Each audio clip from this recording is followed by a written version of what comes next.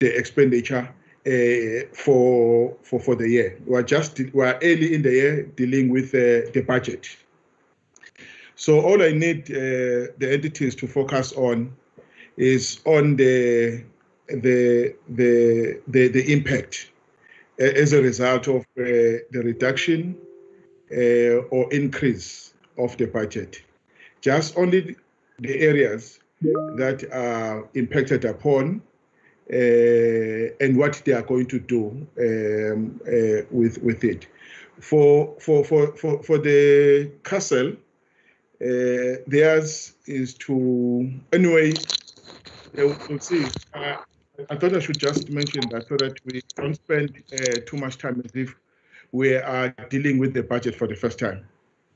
So it will be the castle. Yes, Chair. Uh, and then uh, the and then Armscor.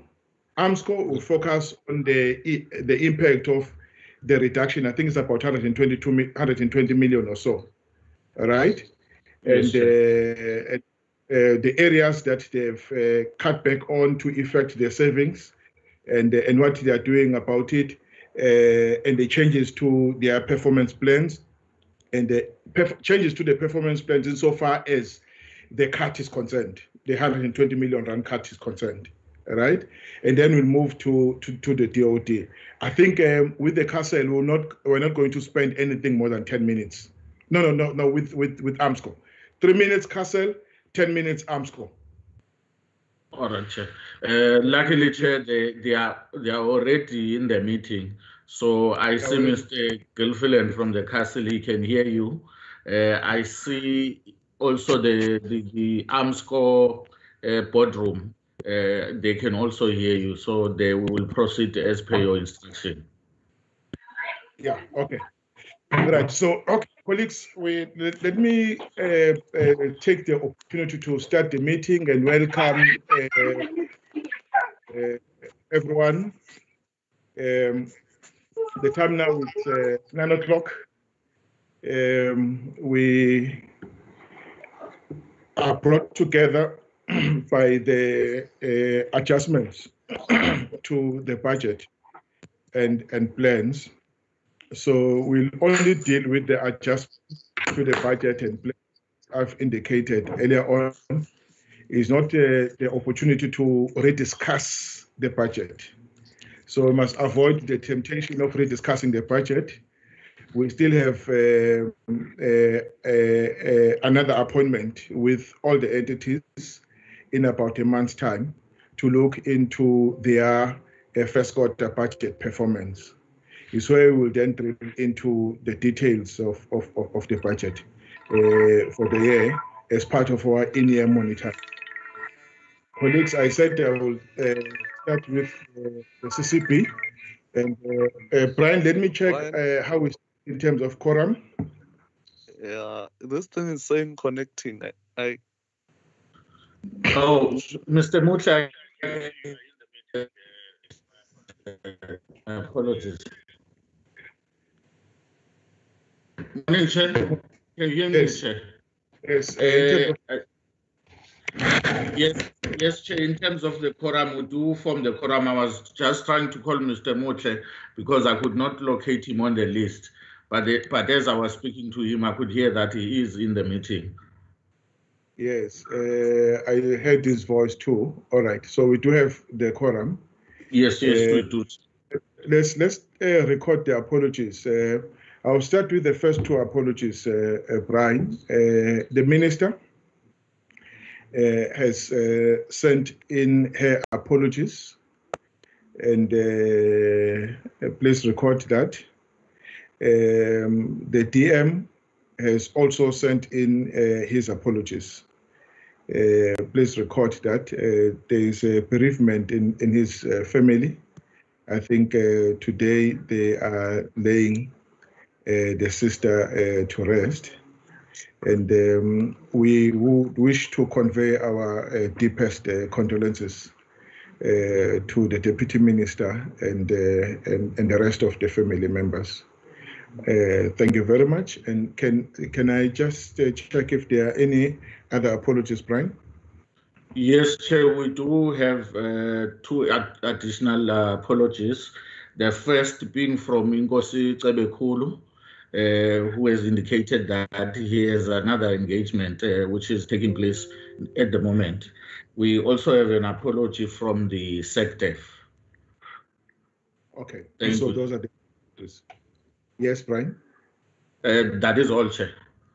Yes, Uh, I think let's also record the apologies, uh, uh, uh, group apologies uh, from the colleagues of the NCOP. I understand the NCOP is running as we speak. They are in session. Yes, yes, Chair. Yeah, they're in session, so they, they will not be able to, to attend this, this meeting. They've also sent in their apologies as well. All right, colleagues, having recorded the, the apologies, uh, I've already welcomed uh, all of you. And uh, I don't think this must be really a three hour meeting. We can easily dispense off with all the items within the first hour of, of the meeting. We're not discussing the project. I want to mention that uh, once again. Uh, let me then welcome. Chairperson, uh, Chairperson, yes, sir. Yes, Chairperson, yes, if you allow Mr. me. Yes, please. Um, I'm I'm actually a bit up, uh, you know, disturbed by the um, apologies of the minister, the deputy minister, as well as the secretary of defence.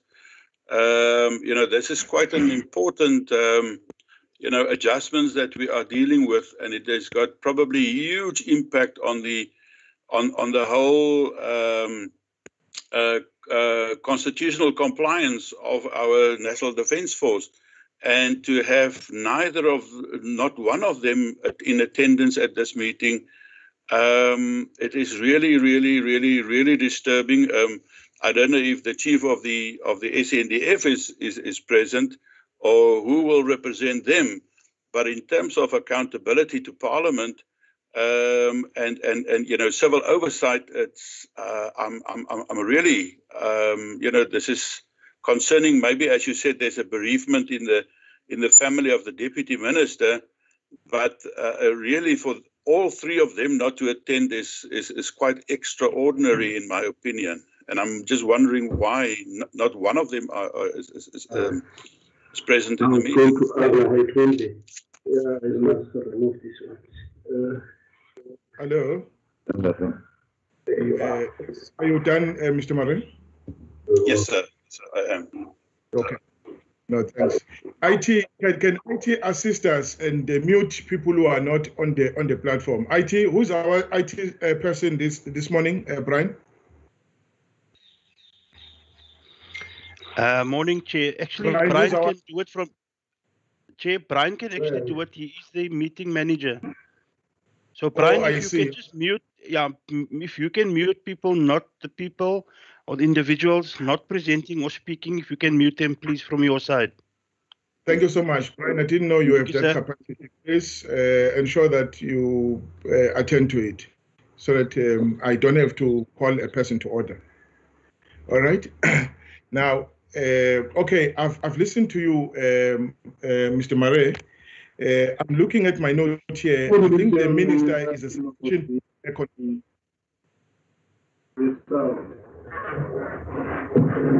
Uh, can see- Brian?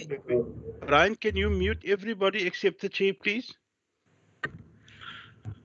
Uh, I'll do so. It's just that I'm, I'm also busy on the phone trying to Oh, call you some of the the- members that are not in the meeting. All right.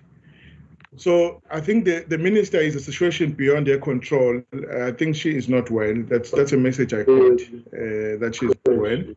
Um, it's the SecDef's apology that uh, was not said. Uh, can I get a sense uh, from uh, General Ramatswana, who's representing uh, the department, um, what happened to SecDef?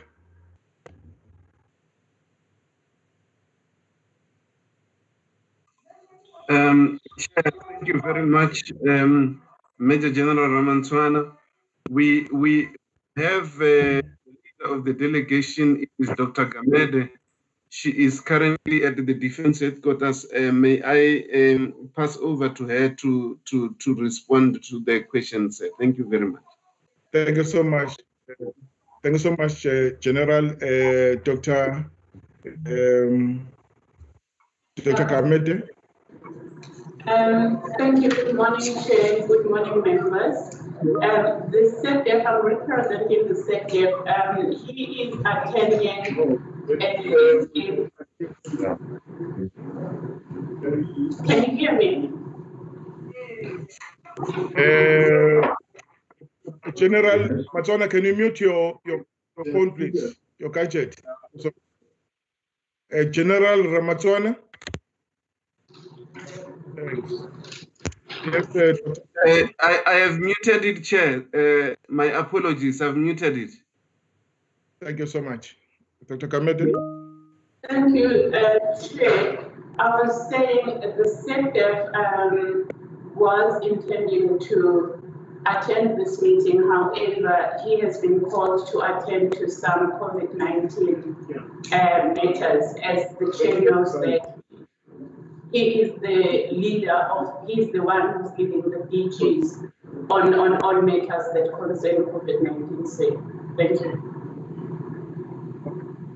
All right, there's a meeting uh, running at the same time that he has to attend to. Yes. Thank you so much. Uh, I'm in my teams, but uh, the volume is on hundred percent, but still no sound.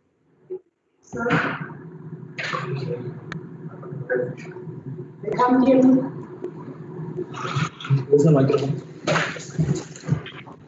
Should I?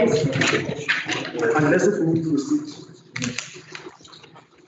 Uh, Brian, what's happening?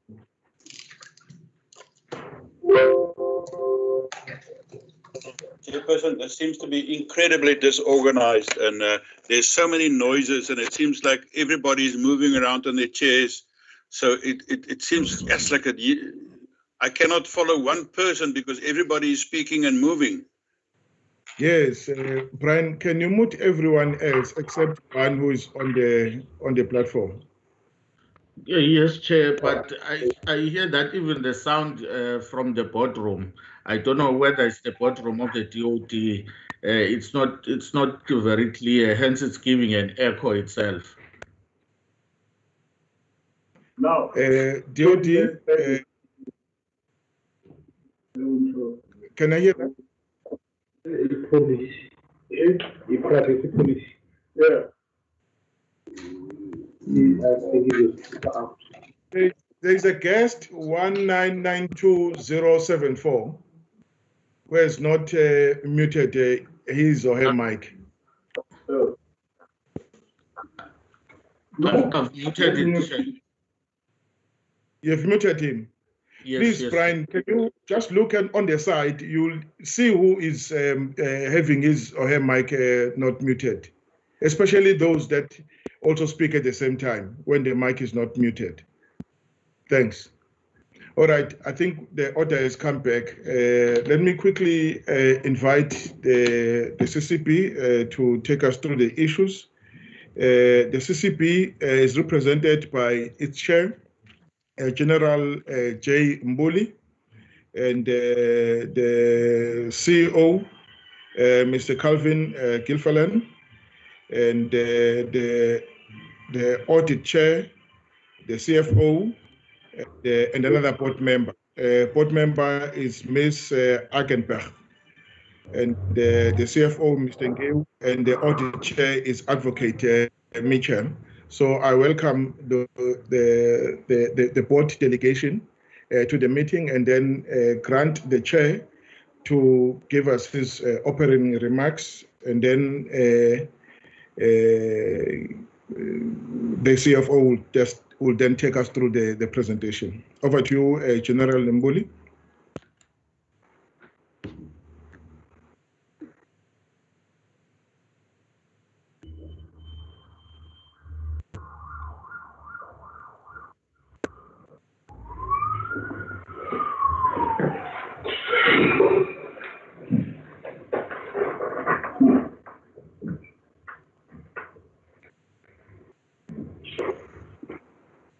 All right. Without uh, uh, my city with people involved with and she gets right. Was, we're only down one thing. Brian, do you hear that noise? Okay, Mr.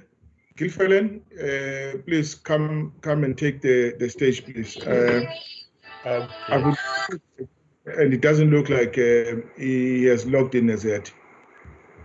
Over Good to you. morning, um, good morning, uh, Chairman Xaba, uh, honorable members of the esteemed portfolio committee, and the uh, board members and the entire Ministry of Defense and Military Veterans um, uh, family. Uh, I take this opportunity to uh, thank all in the family for um, sharing, but more in particular, uh, I express the view from the chairperson for the 3 million uh, COVID relief funding that you bestowed on the uh, CCB. It has really changed the mood from where we were on the 6th of May to here. Chairperson, I will exactly I'll take exactly two and a half minutes to go through our presentation. I will I will I will uh, not even put it up because I will consider it as read. And uh, essentially, uh, Chairperson, the uh, retabled budget and annual performance plan that we will submit today to the minister would, uh, in essence, reflect a original 8.9 million approved budget that will be scaled down to a 5.1 million budget.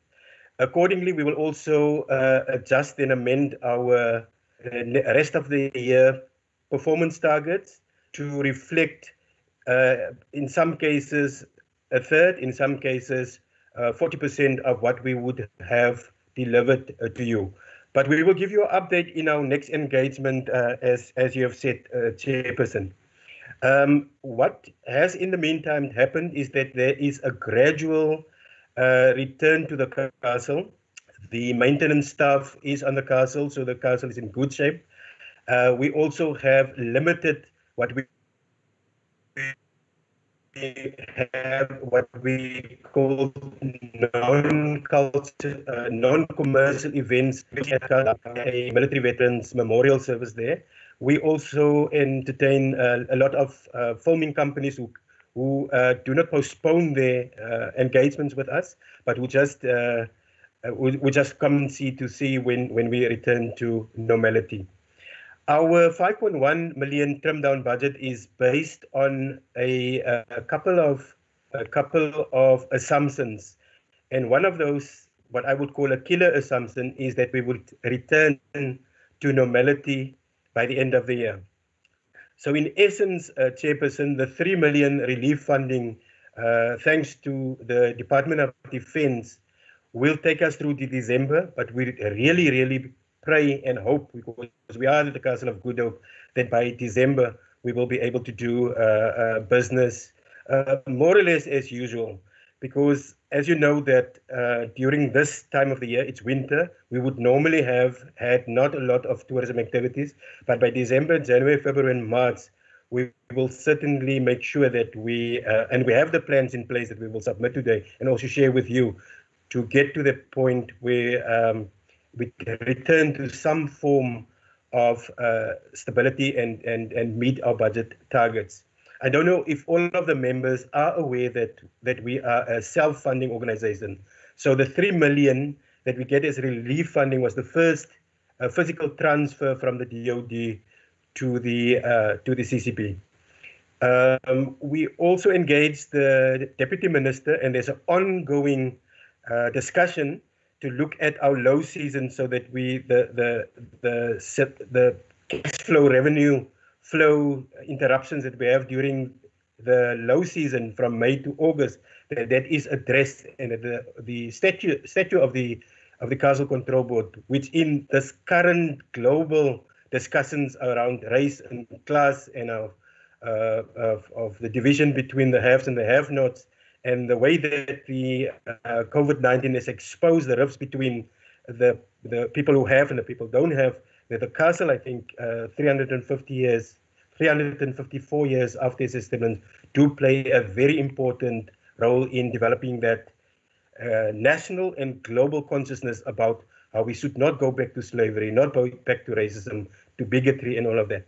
So, in in in summary, we, uh, Chairperson, I want to thank you and the entire portfolio committee for the support that you gave us. I think that uh, press release that you had on the, the next day after the 7th of May has certainly uh, opened the lights all over the place. And I think it is with a huge sigh of relief that, that the 19 staff members can now breathe again. Most of them are working off-site, but those who are on-site take the necessary precautions. Thank you very much. I think I will conclude with that, Chairperson, uh, and maybe ask the members to uh, raise particular questions if they have.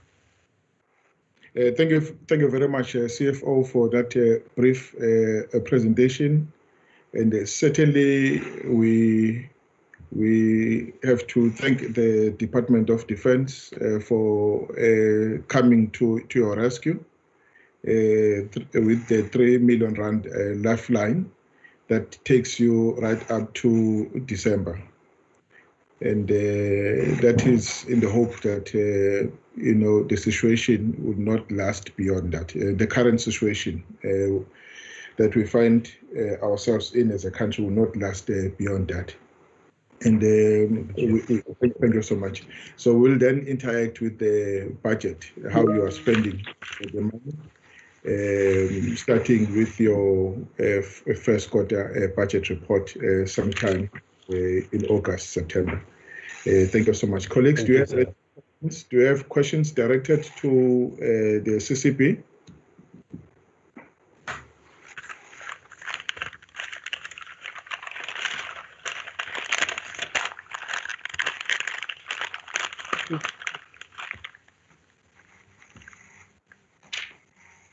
All right.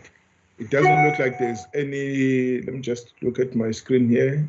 All right it doesn't look like there's any question. Thank you very much, um, uh, uh, Mr. Clifford. Uh, I wish to indicate that you are free to leave at any time uh, you you wish to, and the same goes to your delegation as well. Um, all right. Now, thank you very thank much. Thank you, Mr. Xaba, and enjoy the rec. Thank you. Thank you. And then let me then invite uh, the, the, the Armscor uh, team is led by its uh, CEO, Advocate Mbada. Uh, let me check who is part of the delegation. Um, Armscor. I don't have the list with me right now, but I will invite uh, the, the, the CEO who will then indicate uh, who is part of the delegation. If the chair is in the meeting, uh, I will grant him uh, the opportunity to uh, give us his few remarks. Over to you, Advocate. Uh, thank you, Chair. Um, uh, good morning, members of the committee, colleagues from DOD and Castle, Castle Control Board. Um, uh, Chair, joining me is, is our CFO, Mr. Mkhwanazi, Group Executive Acquisition, Professor Mkaza, uh, Group Executive Research and Development, and uh, Advocate uh, Sinne, uh, who's our Group Executive Business Assurance, responsible for, for risk management as well. Uh, Chair, uh, you've given us 10 minutes. Um, we will spend, uh, in fact, I mean, we've shared the presentation. our presentation is in two parts. the first part relates to the financial impact to the organization. And the second part is uh, relates to the impact of the budget cuts in, in broadly to the DOD projects. But uh, I will ask the, the, the, CFO to focus on five key slides, Chair. Slide that uh, is looking at the impact of the 120 million uh, budget cut um, and, and the ripple effect it has into our business in as far as the, the sales uh, forecast as well as the deficit position.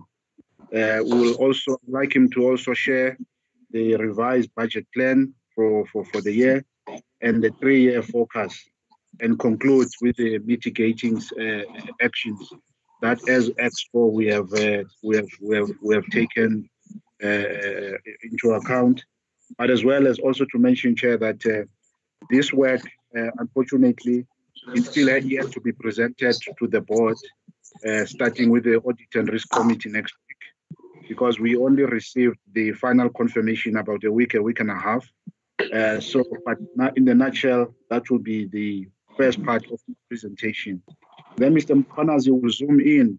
I would like him to just focus on the two slides that looks at the impact of the cuts to the projects, mainly the contracted projects as well as the planned projects.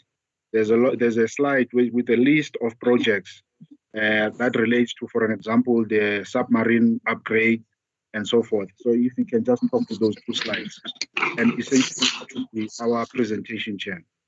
Uh, Okay. uh, with your permission, I'll, I'll hand over to the CFO to just focus on those five main slides. Thank you. Okay, thank you, thank you so much, uh, uh, Mr. Mkhwanazi. Uh, it will be the CFO followed by Mr. Mkhwanazi, Chair. Thank you. Okay. Good morning, Chair, members. Um, just, I'm just going to reflect quickly the, the slides that the CEO discussed. I think for, for understanding the impact on Armscor, it's important to look at how the group is funded. I think the biggest portion of our funding is through the transfer payment. We also do commercial work from the facility side where we generate some revenue, finance income, and then other income as well, where we start with the new developments, the new ventures that we are trying to generate in, income from.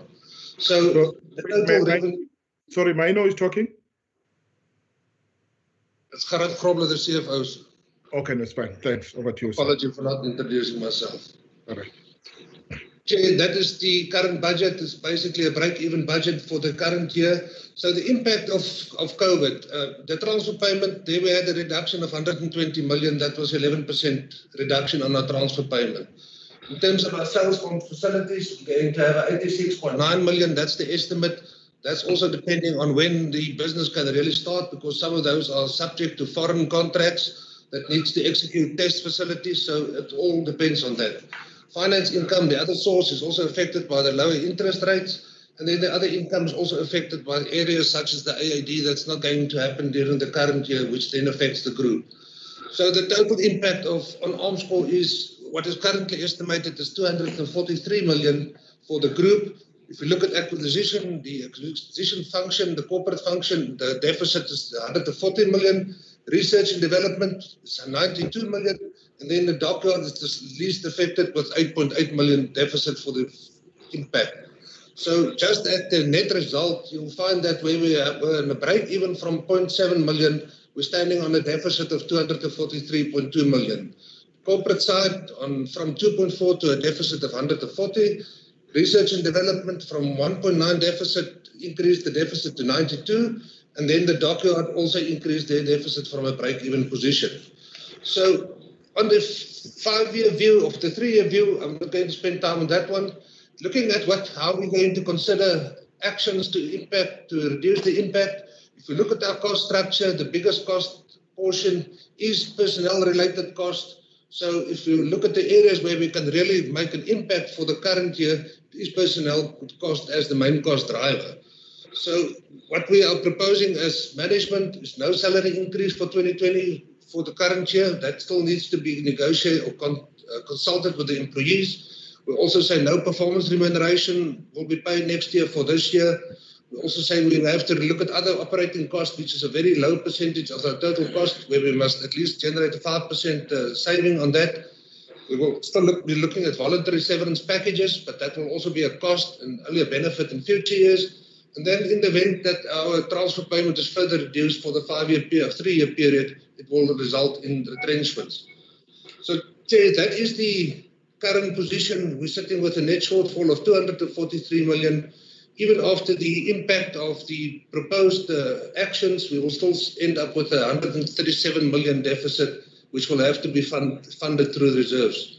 So, just the impact for the three-year view, current year changed from 0.7 to 243.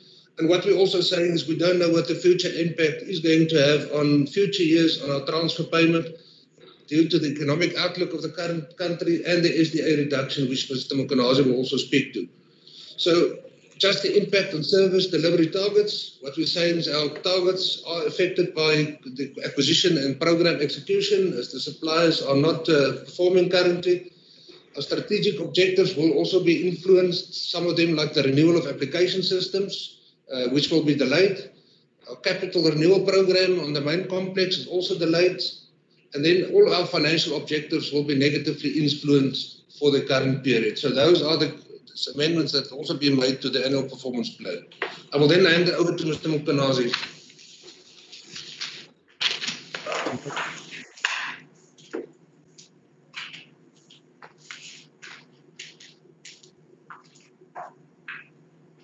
Thank you, Chair. Honorable members of the Portfolio Committee. My name is Sipho Mkhwanazi, Group Executive Manager of, uh, of Acquisition and Supply Chain Management. Chair, I'll start straight into those slides that uh, I need to focus on. I'll just touch on this particular slide because uh, it is a slide that shows the reduction of the budget in terms of the capital uh, budget, which shows that uh, it has been, it, in the last five years, the budget was about uh, 5.5 billion rands. And then come the year 2018, 2019, it dropped uh, to about uh, 2.6 billion rands. And then in the current financial year, it's about 2.8. And uh, come the next uh, financial year, 2021, 22, it's going to be zero. And also, if one looks at even the operating budget, it shows that also it has been also reducing. Now, just to look at also now the effect of that in terms of uh, the projects that we have been handling, the graph shows that uh, we started around five years ago with about 63 projects, and that has now been reduced down to currently running about 15 projects. And come the year 2021 22, we'll be having zero uh, the projects that will be running. That has an effect in terms of uh, uh, the amount of work that we were supposed to do, especially in the environment of the SANDF, where there was a plan to arrest the decline of the capability in the SANDF. And this slide shows the number of capabilities that were going to be acquired and also some of those that are going to be uh, maintained and repaired to give it uh, a longer lifespan. For instance, if one look at the new uh, capability that was going to be acquired, one is looking at uh, uh, the placement of the submarine torpedoes, it's looking at the electronic warfare system, and some of all those that are going to be acquired. But not only uh, acquire but also if look at the, the, the, the, repair and maintenance capability also, that uh, would have to terminate as uh, because due to the fund reduction. Also, the other capability that is critical is the capability of uh, the chemical biological defense system. That also will be terminated. And then critical also in terms of uh, the midlife upgrade of the submarine. That is a big project that also will have to be terminated. And also the upgrade of the frigates uh, to give it uh, another 15 to 20 years. That also will, will be uh, terminated. What it means is that now we'll be running these projects up to a point of uh, uh, reaching the functional baseline, which is a baseline of completing just the defining uh, the, the, the, work that is required. Just before we go to the uh, to the industry to contract the industry, we'll then terminate the projects due to the reduction in, uh, in, in a DOD budget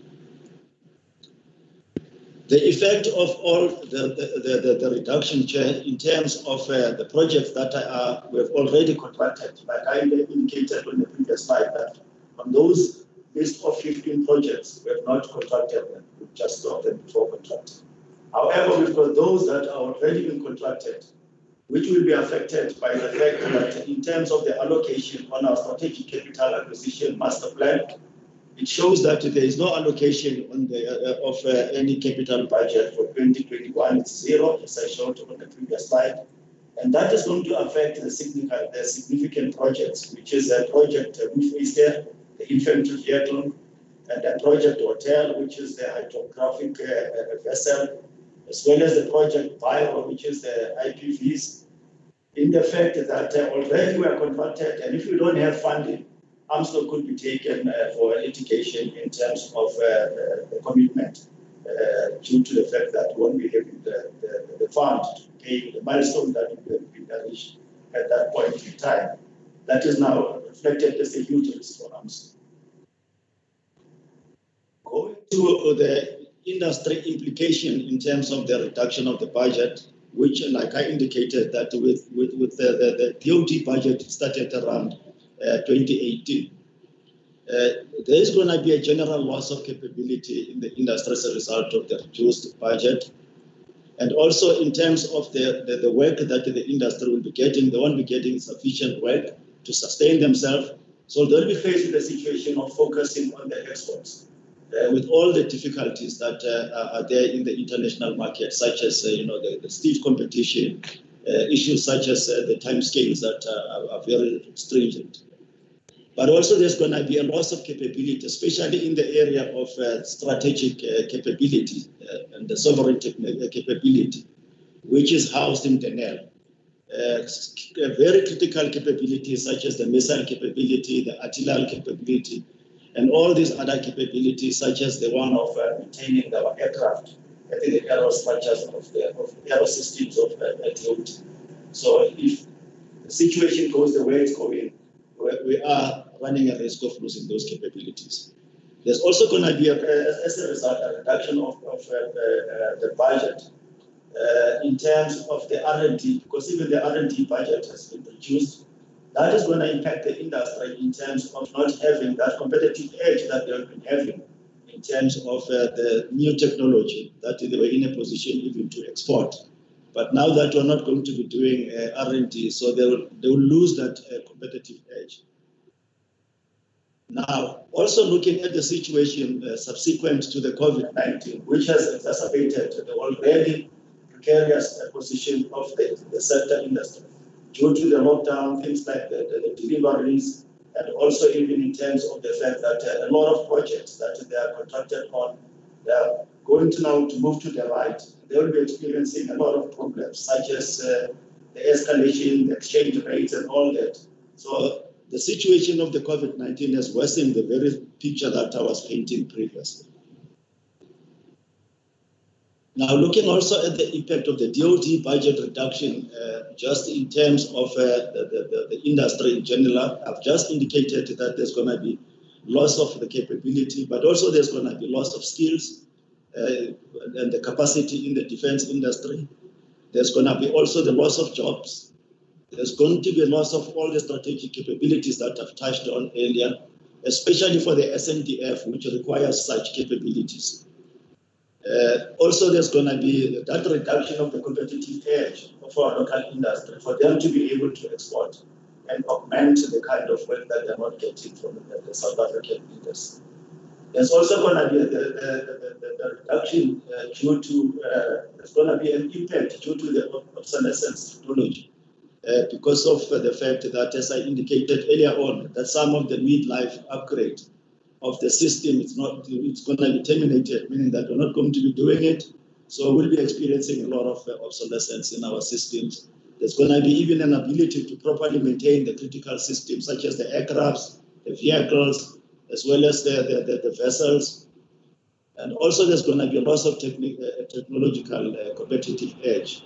And especially if one looks at some of the technology that uh, our SANDF has been using uh, as a force multiplier, such as the sensors, the UAVs, and all such technologies in terms of having a competitive edge. That is going to be lost. Chair, that's, uh, that completes my presentation. Uh, thank you very much. Uh, uh, colleagues, uh, um, may I invite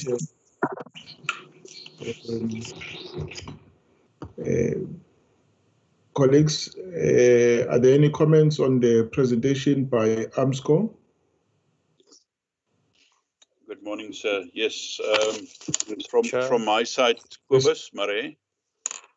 Yes, Marais, you may uh, comment.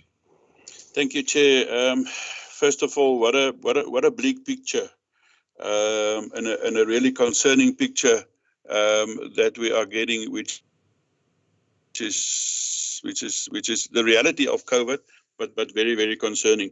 First of all, I want to start off. Thank, thanks for the presentation by everybody. Much much appreciated under the circumstances.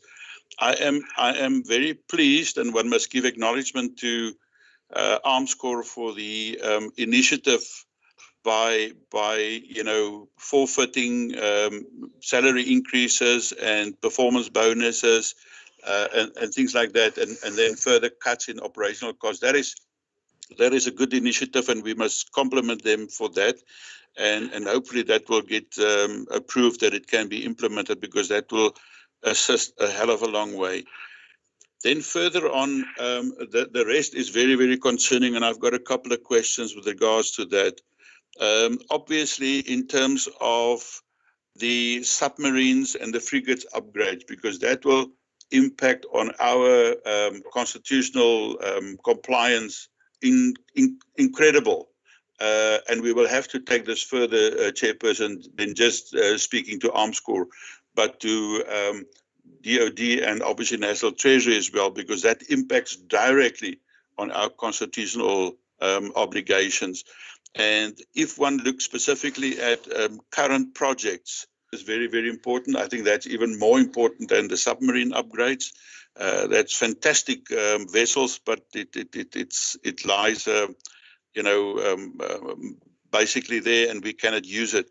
Then on our projects, hotel and biro specifically, um, those are current projects that we have got obligations on uh, and that we need is of strategic importance. So if we are now sadly not being able to complete uh, projects hotel and biro, and we know that those projects are quite far down the line, um, and and and obviously I want to ask whether there's been communications with uh, with those two uh, service providers who are building those those vessels, uh, and what the reaction is, whether there are and will be um, uh, penalty payments uh, because normally in contracts like that there will be penalty payments and we will have to basically take that into consideration when there are no funding further provided because I suspect that we will have penalty payments uh, on those projects.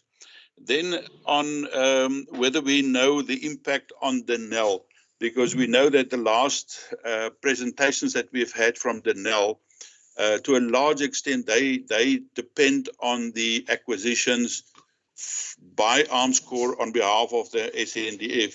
So it will have obviously, I suspect it will have a major impact on Denel, and then also um, the the, um, the the the the obviously continuous uh, ability of the SANDF uh, to to to fulfill their task. Because if suddenly our aircraft, our Oryx, our Rooivalk, our uh, C-130, the only one that we've got in the air, uh, the vehicles, if those things are impacted in such a way that Armscor uh, must stop those projects and there are zero being, uh, being spent on capital, it means that our ability to respond to any threats from outside, and we have seen shortly, you know, uh, uh, lately the, the, the threat from, from ISIS as well, so, so we've got a, a major problem facing us uh, going forward, and uh, and and we need to know, you know, the impact of those things as well, and uh, and obviously then lastly, to what extent does this really impact on the uh, sustainability and the survival of of Armscor itself? Thank you very much. Thank you so much. Uh, any other comments? Uh, Chairperson Mafanya here. Yes, Mr. Mafanya, sir. Uh, thank you very much um, for the presentation on both entities. The the only question that I have is uh, there is a termination of almost 15 projects, including Project Hub, in, uh, with additional three on the three projects, Project Hotel, Biro, FUSA. Now, the sense I have is that there's already money that has been spent on those projects. And then I want to find out the, the, the quantum, the, the amounts spent already on the projects that are to be terminated. Thank you very much. Uh, thank you so much, uh, Mr. Mafanya. Uh, any other uh, Okay, comment? Chairperson. Uh, Mr. Make, over to you, sir. Yes, sir. Okay, just just one one one point. Uh, I heard this CFO, no, the CEO talk about reserves, financial reserves. Uh, can I get a clarity uh, about that, those reserves, and how much they have there, and what advantage does the reserves give them? Thank you very much. Uh, thank you so much, sir. Uh, all right. Uh, Uh, Chair. Yes, Chair. yes, Mr. Motley. Yes, Mr. Yeah. Over Thank, to you. thank you. Thank you, Chair. Uh, I just want to find out because uh, the presentation uh, uh, precisely talks to the impact or the budget cuts that uh, Armscor is experiencing. Uh, as opposed to CCB, they have received something in terms of uh, uh, in a form of a relief. I just want to check if they've made a submission as well to DOD for them to get a relief so that they balance uh, some of the the the, the projects that uh, might be severely impacted, particularly those that are are running uh, your Hoefyster uh, hotel and Biro. Out of uh, out of that allocation that has been given to to to DOD, have they made the submission, and what are what is the the, the status quo? And uh, I've been seeing them reporting on anything that uh, uh, any role that they are playing with regard to acquisition on behalf of uh, the DOD with regard to to to COVID nineteen uh, uh, acquisition that uh, the DOD might undertake uh, for the current out of that current allocation given to to to the DOD. I would like them to to bring us on par and what is the status quo if they are playing if they don't have any role so that we know. Thank you, Chair. Thank you so much, uh, Mr. All right, it, that completes uh, the the comments from the side of the committee. May I now uh, invite the group executive uh, to um, respond?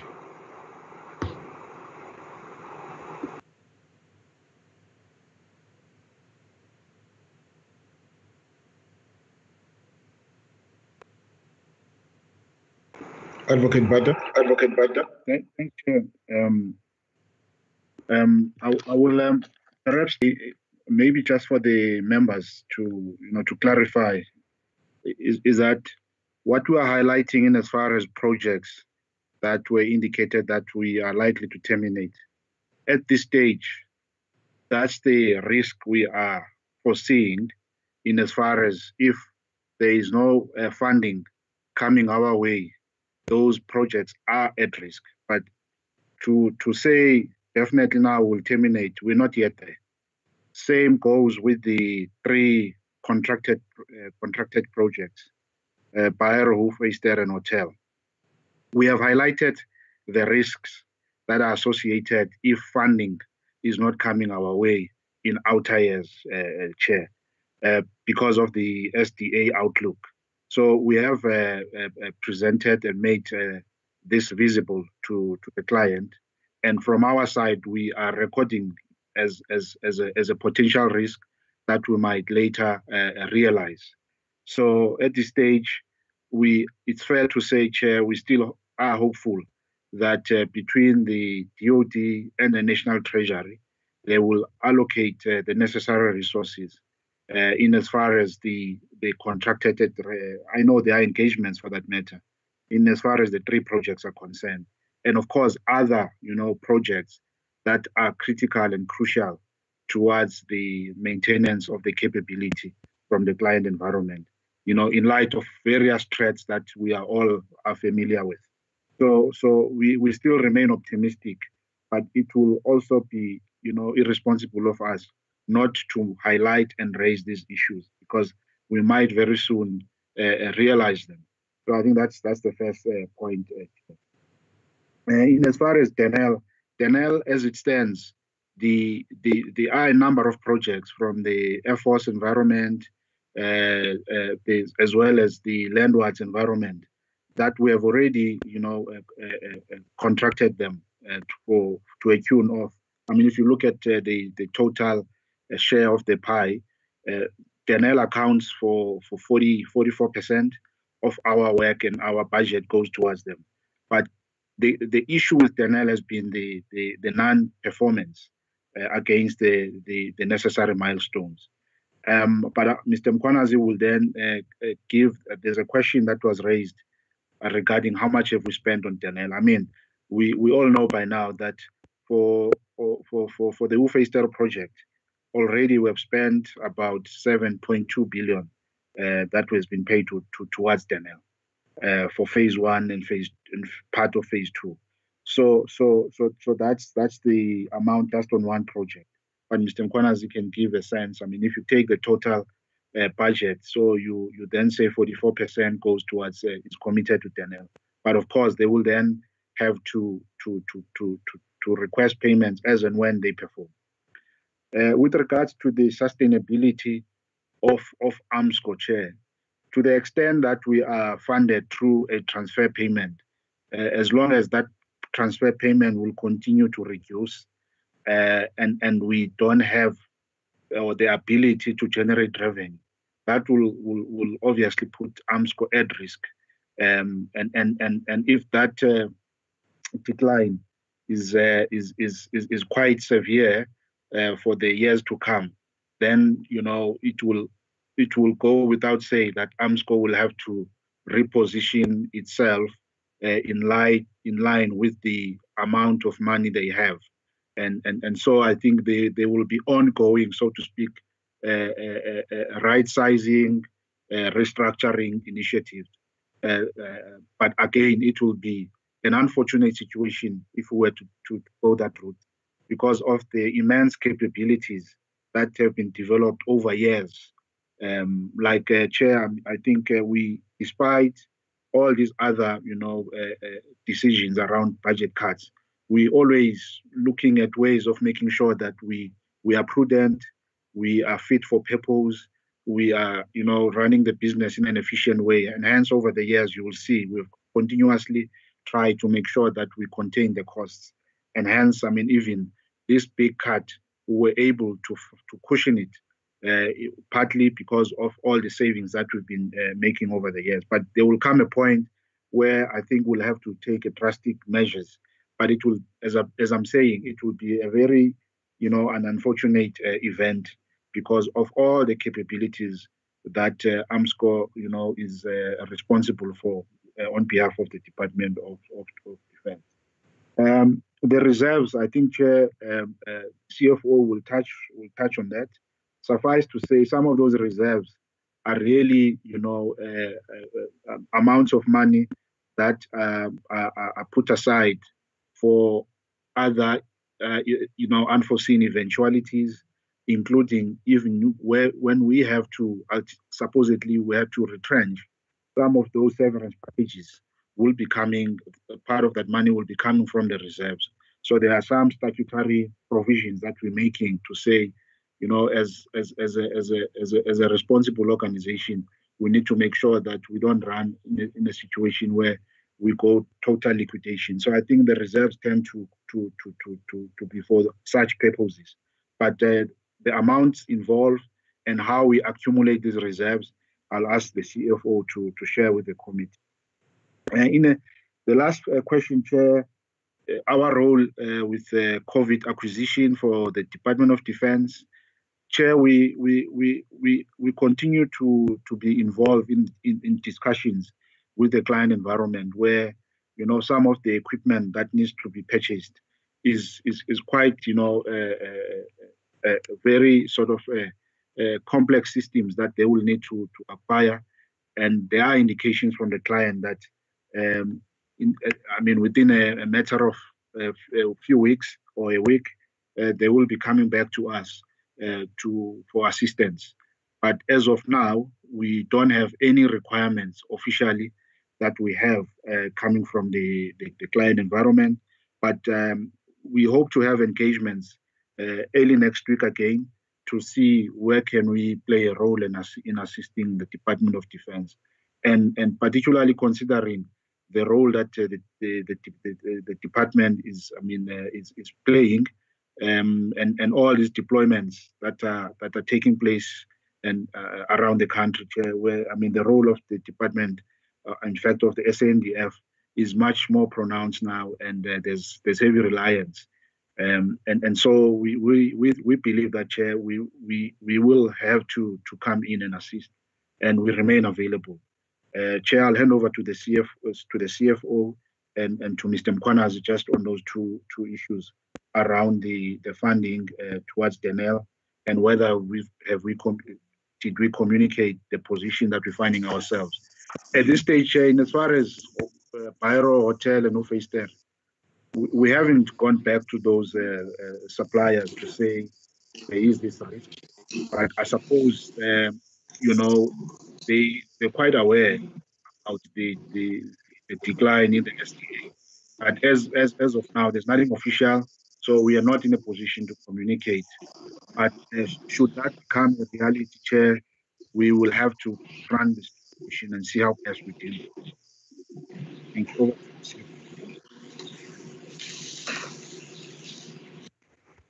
Thank you, Mr. Kopler. Thank you, Chair. If I can just respond on the reserves.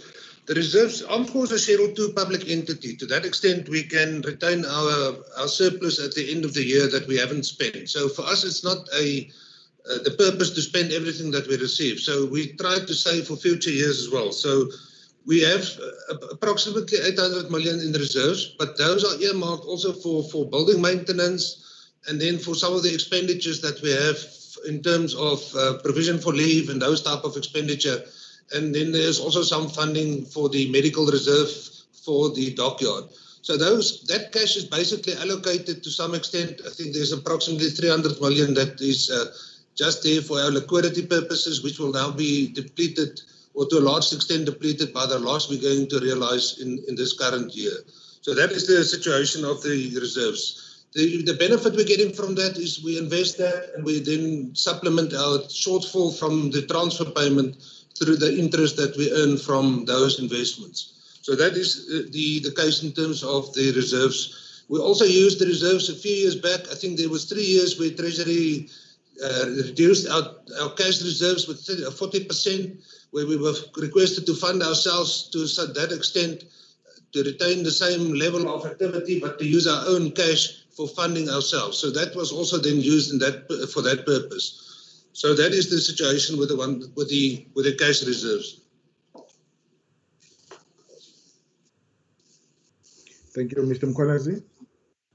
Thank you, Chair. Chair, I'll just touch on the, the 15 projects that we spoke about. Yes, those projects, we have not contracted them. So we're still working uh, with those projects, all 15 of them internally. So there's not money that has been spent in terms of uh, contracting the industry. Looking at the, the other three projects, which is the Project Roof Easter, Project Hotel, Project Biro, with those, they are already been contracted. In fact, they are running with the industries. One, if looks at, uh, for instance, uh, Hoefyster already, we have spent about 7.2 billion rands on that particular one. The hotel, we are close to about a billion rands, as well as Biro. It's about uh, close to a billion rands that we have spent already on those particular uh, uh, on, on, each. Yes. On, on the on the on the on the on the two projects, Biro and Hotel. Now, talking to the issue of the situation and the impact of Denel. Uh, currently, with Denel, we've got about 4.3 billion rent orders, which is about 42% uh, of our order book, meaning that uh, it's, a, it's, it's, a huge order so uh, all these impacts that we're talking about, they will negatively affect Denel. And if one looks at the situation of Denel in terms of uh, the local uh, projects that they're having uh, in the different divisions, for instance, if one looks at uh, the dynamics, mainly they're, they're, they're, they're manufacturing and developing the, the missiles. They've got uh, the major project there. It's our project, which is a project data, which is air-to-air missiles. And then also, even if you look at the, the area of uh, the, the UAVs, in, in that environment also, the Seeker 400, it's our project. That's a project, main project they're busy with. So if anything happens to those projects, they'll negatively be affected. And then even if one looks at uh, the, the landwards division of Denel, their major project, there's a Hoefyster project, which has got uh, also uh, other you know, spin-offs in terms of uh, the work that they are doing uh, internationally, which is the turret uh, that they are manufacturing and developing for the, for the Malaysian market. So if anything happens to that project, it's going to affect Denel in, in, a, in a very negative way. Even if one looks at uh, the other uh, division of Denel, which is the aero systems, where we do our maintenance of and then support of our aircrafts, there we've got the Rooivalk, we've got the Oryx, we've got the C-130s. So if anything happens, that will negatively affect Denel in terms of, uh, of, uh, of the budget uh, reduction, as well as also the capability to the uh, SANDF. So if one looks at the, just that impact to Denel, it also has that rippling effect to the rest of the industry because Denel is the integrator, meaning that it's operating at the, at the, the highest systems level. And a lot of companies are dependent on Denel as subcontractors to Denel on these particular projects that I've touched on. And I thank you, Chair. Uh, thank you so much, colleagues. Uh, I'm not too sure if uh, this the question uh, um, on on your uh, role in COVID COVID nineteen related activities has been answered. I think Mr. Motlha wanted to know whether uh, you, you have been asked uh, to undertake any COVID-19 related uh, activity by the department on behalf of the Department of, uh, of Defense.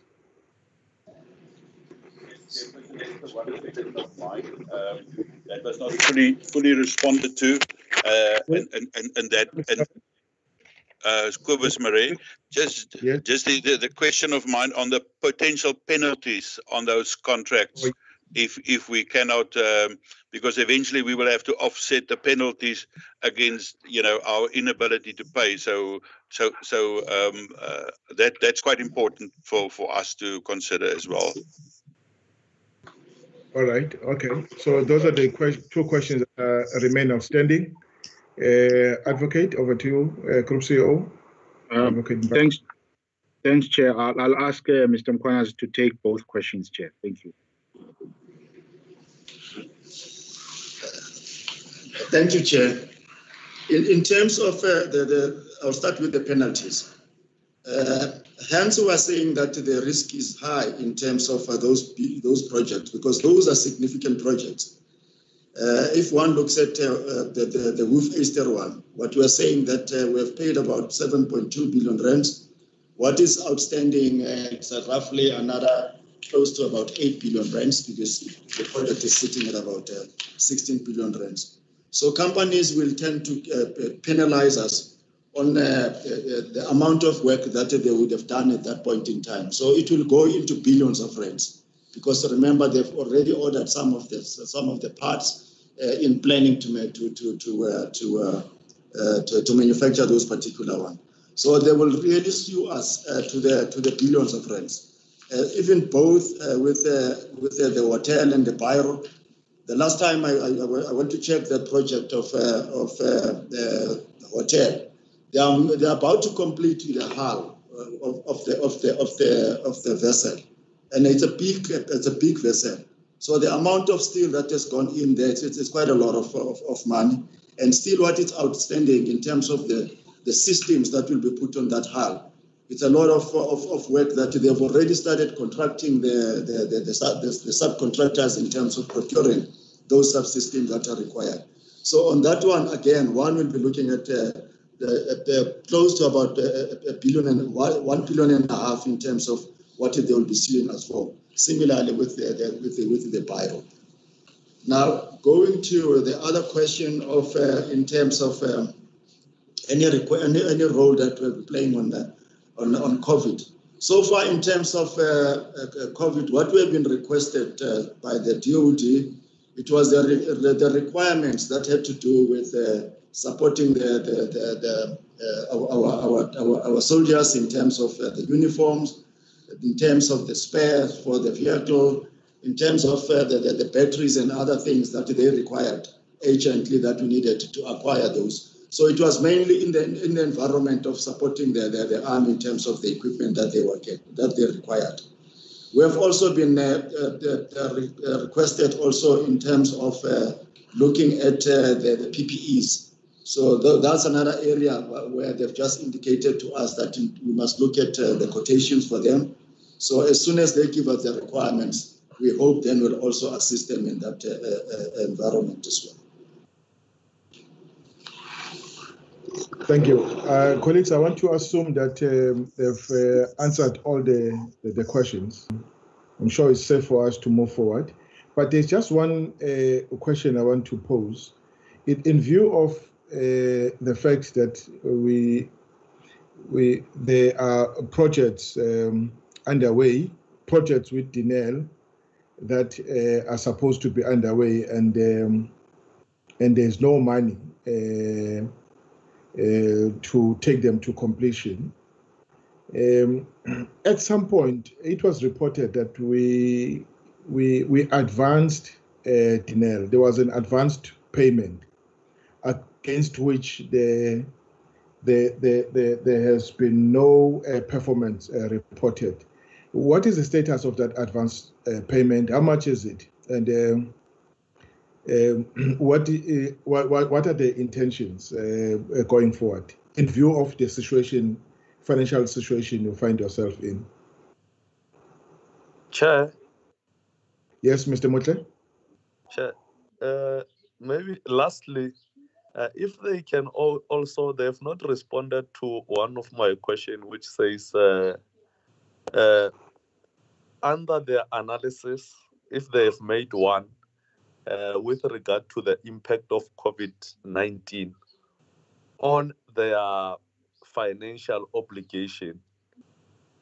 Have they made a submission for a relief fund for them? Not the second one uh, has been answered in terms of the role that they are playing, but them as an entity, Armscor, uh, what impact has COVID 19 uh, uh, or, or what the impact that uh, COVID 19 has imposed on them, and to what an extent have they made a, a, submission for a request for a relief as an entity?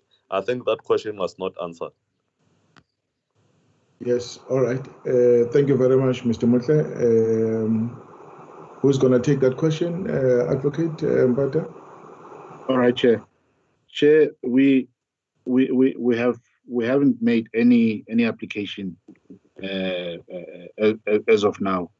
As I've indicated, that the the final confirmation came in just more than a week uh, regarding this uh, budget cut, but it's it's something that I think we need to look into. we will do our assessment and then we'll make a determination. And I suppose it's an issue that we'll also uh, discuss with our with our board. All right. Uh, on the advanced uh, payment uh, to Denel, how much was it and uh, what is the status of it currently? I, I, I will ask the CFO to uh, or Mr. Mkonas to give a breakdown, but all I can say, Chair, the, the, there was security uh, in the form of a bank guarantees that actually you know protects or secures us from the advance payment, which Denel obviously is servicing with the banks um, and it's got an expiry date. So, so if that expiry date before it, it, it comes and Denel is not in a position to get an extension, or the expectation is that Denel must always make sure that uh, they they they do apply to the banks for that uh, bank guarantee to be extended. Failing which chair, if they are not in a position to do that, what it means is that we can then go to the banks and demand pay that uh, and, and, and cash in that uh, bank guarantee. And uh, obviously, the banks will then pursue Denel. But I'll ask CFO to just give us a, a breakdown as to exactly how much is secured by the banks, how much is secured by what they call corporate guarantees, and what's at risk. Thank you. Uh, please, Mr. Mkhwanazi, just talk to it. And uh, you see, I think, uh, uh I mean, the group CEO's uh, response makes me even more worried, given the situation of Denel uh, currently. There are threats to foreclose Denel. Now, with them having access to this security that um, the group CEO is talking about, I think it will make um, uh, uh, Armscor even more vulnerable. And uh, because it means it, it's money that uh, is, is, um, is a facility that they have access to that whenever they uh, you know uh, find themselves in trouble they may access it and uh, and, and causing uh, Armscor to lose Uh, in, in, in the process. But you may shed more light on, on this one. Thanks. Can respond. The the total of the advance payment that's made contractually is in the region of 1.9 billion currently. In terms of that, it's about 400 million that's secured through a corporate guarantee, which is at risk. The rest are secured through bank guarantees as well as insurance guarantees. So Denel, and there's also a small amount in an escrow account that's under our control of, of about 156 million. So that's the 156 million is the only amount that's still available, which Denel did not already use for funding their business purposes and funding the project. So that amount is the only amount that's still lying in the account and which are being released as soon as they deliver items. So in the event, we can only recall the, the guarantees once the program is cancelled, then we can go to the bank and say, but please refund our money. So as soon as there's a final decision on the program, we can then start to collect the, the guarantees or the money from the different banks, and we will be at risk for the for the approximately 400 million that's under Denel corporate guarantee, where we will have a claim against the entity itself. So that is the situation with the guarantees. Just, just to, to also speak about the relief fund for, for to add what the CEO said in terms of relief fund for projects. Although Armscorp places contracts in our own name, the money for the projects never comes to Armscorp. So we pay directly from the DoD's account. So the shortfall is lying in the DoD's account. So they will not give us a, they will not allocate funding to Armscorp for, for the shortfall of the projects because the shortfall is actually in their own account. So, but we sit with the risk that we've contracted in our own name, and in the event they default, I mean, the first claim is going to be against Armscor, and that's what the risk we're trying to highlight. Thank you, Chair. Uh, thank you so much. Um, all right, so that takes us to, to the end of uh, this uh, uh engagement with uh, Armscor. Uh, colleagues, I'm sure you don't have a pending question. Uh, I can close uh, the discussion on on on Armscor uh, budget. All right. No, th thank you very much, uh, uh, uh, colleagues. Advocate Mbata, thank you very much. Thank you very much to Team for for their presentation, and we'll meet again um, sometime when we do the in-year monitoring of the budget.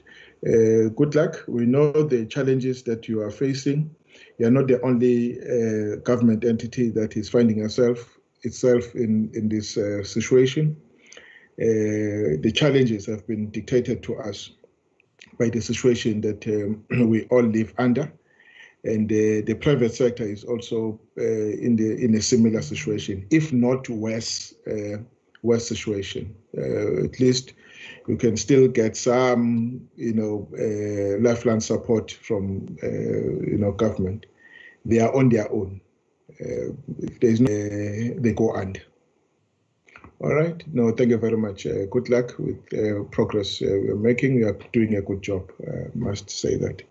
All right. Um, having said that, colleagues, advocate, and the team, you are free to leave at any time you, you wish so. Uh, can I then quickly move to the Department of Defense um, uh, or the Department of Military Veterans, whoever is ready to come in first? Um, which presentation uh, we can flight uh, first that is uh, ready on the system.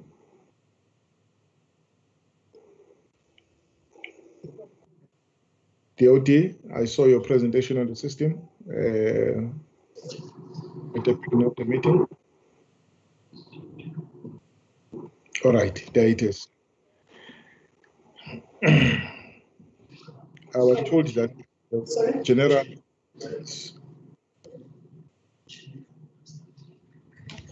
Uh, Good uh, morning again, um, Chair and members of um, the PCD. Um, It's Dr. Gamede here speaking, I'm Chief of Defense College Strategy and Planning, and I'm leading the delegation on behalf of the SecDef. Um, With me is um, Ms. Chibilika, who is the Chief Director Budget and Management, who's going to make a presentation. We also have uh, General Ramatswana, as well as uh, General Harrison. And they work with us remotely. General, General Harrison is Deputy uh, CLOC and is responsible for uh, procurement of all uh, matters relating to uh, COVID-19. Chair, um, we'll go straight to the point. We, we um, requested 4.5 from? National. Dr. Gamede? Yes. Yes, the CFO is not uh, part of your delegation. The chief, the CFO is represented chair by um, Ms. Chibilika, who's Chief Director Budget. And I also have uh, Mr. Abodzi, who is responsible for uh, financial services, but the CFO is not well, so I'm not happy with the way you composed your delegation um, because people who have a direct accountability in terms of the PFMA are not in this meeting. But uh, you may go ahead. There's nothing you can do with it at this point in time. But next time, um, when they send you without the people who have a direct accountability, as per the CFO, you must tell them that the portfolio committee is not going to take that lightly. Um, will you please convey that to the Secretary for, for Defense? I will do so, Chair. Thank you. Uh, Chair, um, as I've already indicated, we have uh, requested a budget of 4.5. We've received a 3 billion allocation from National Treasury. As they, I must also indicate that we have now updated our plans uh, to include COVID-19 uh, matters.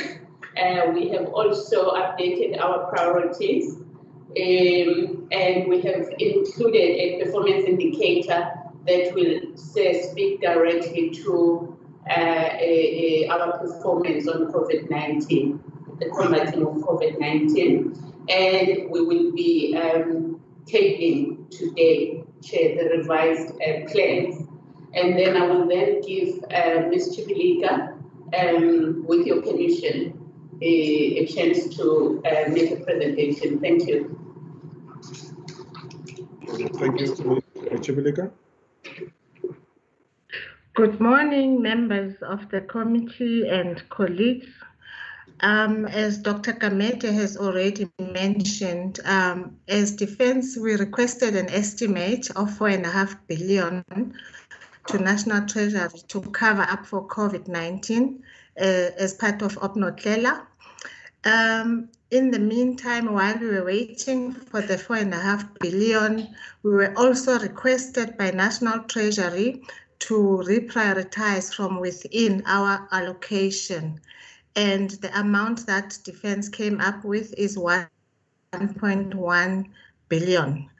Um, subsequent to that, on the 24th of June, we then received an allocation of 3 billion and no reduction in our allocation, so which took our allocation to plus 3 billion.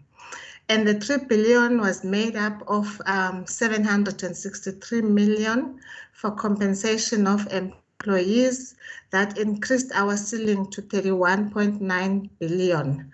However, the, the Department of Defense still has a, a shortfall that uh, we have of 3 billion that we've been having for the last few years and the next couple of years to come until the, the COE is sorted out.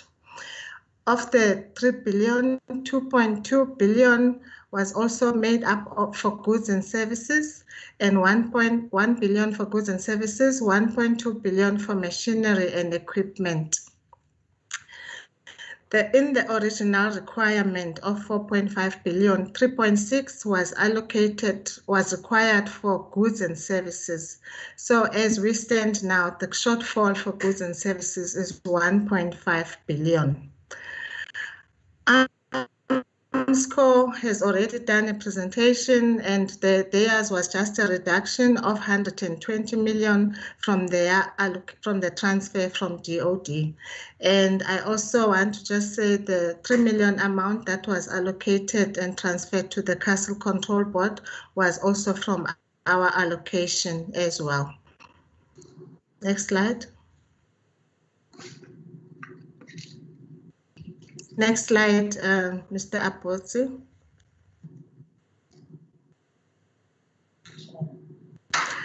This is the breakdown of what the four and a half billion was made up of. It was uh, split according to the requirements per service and division. Um, all of us um, currently, we're currently busy trying to spend the amount. Next slide.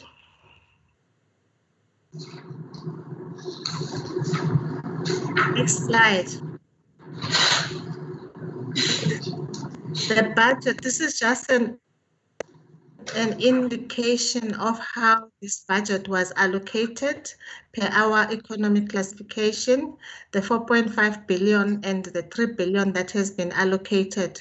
And also in this slide, in the, in the third column, we're indicating the amount that has already been um, uh, ordered or financial authorities have been created, 1.327 um, billion. I must also indicate that um, this uh, 1.327 billion was an amount that was spent as at the end of the previous week. Um, I am aware that there are orders that have already been placed, but we just do not have the, the current amount yet. I think log division can assist us with that amount that they have placed order. Next slide.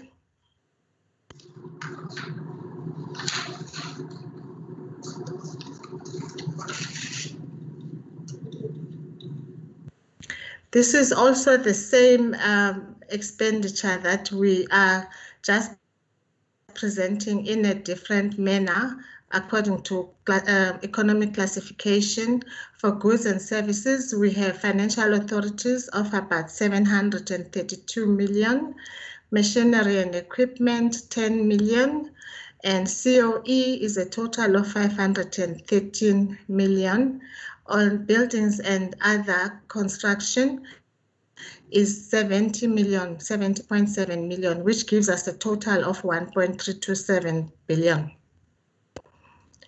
Next slide. The next slide is also indicating the same information, but per service and division, where uh, how much they have spent so far is, uh, is to accommodate the COVID requirements. Thank you.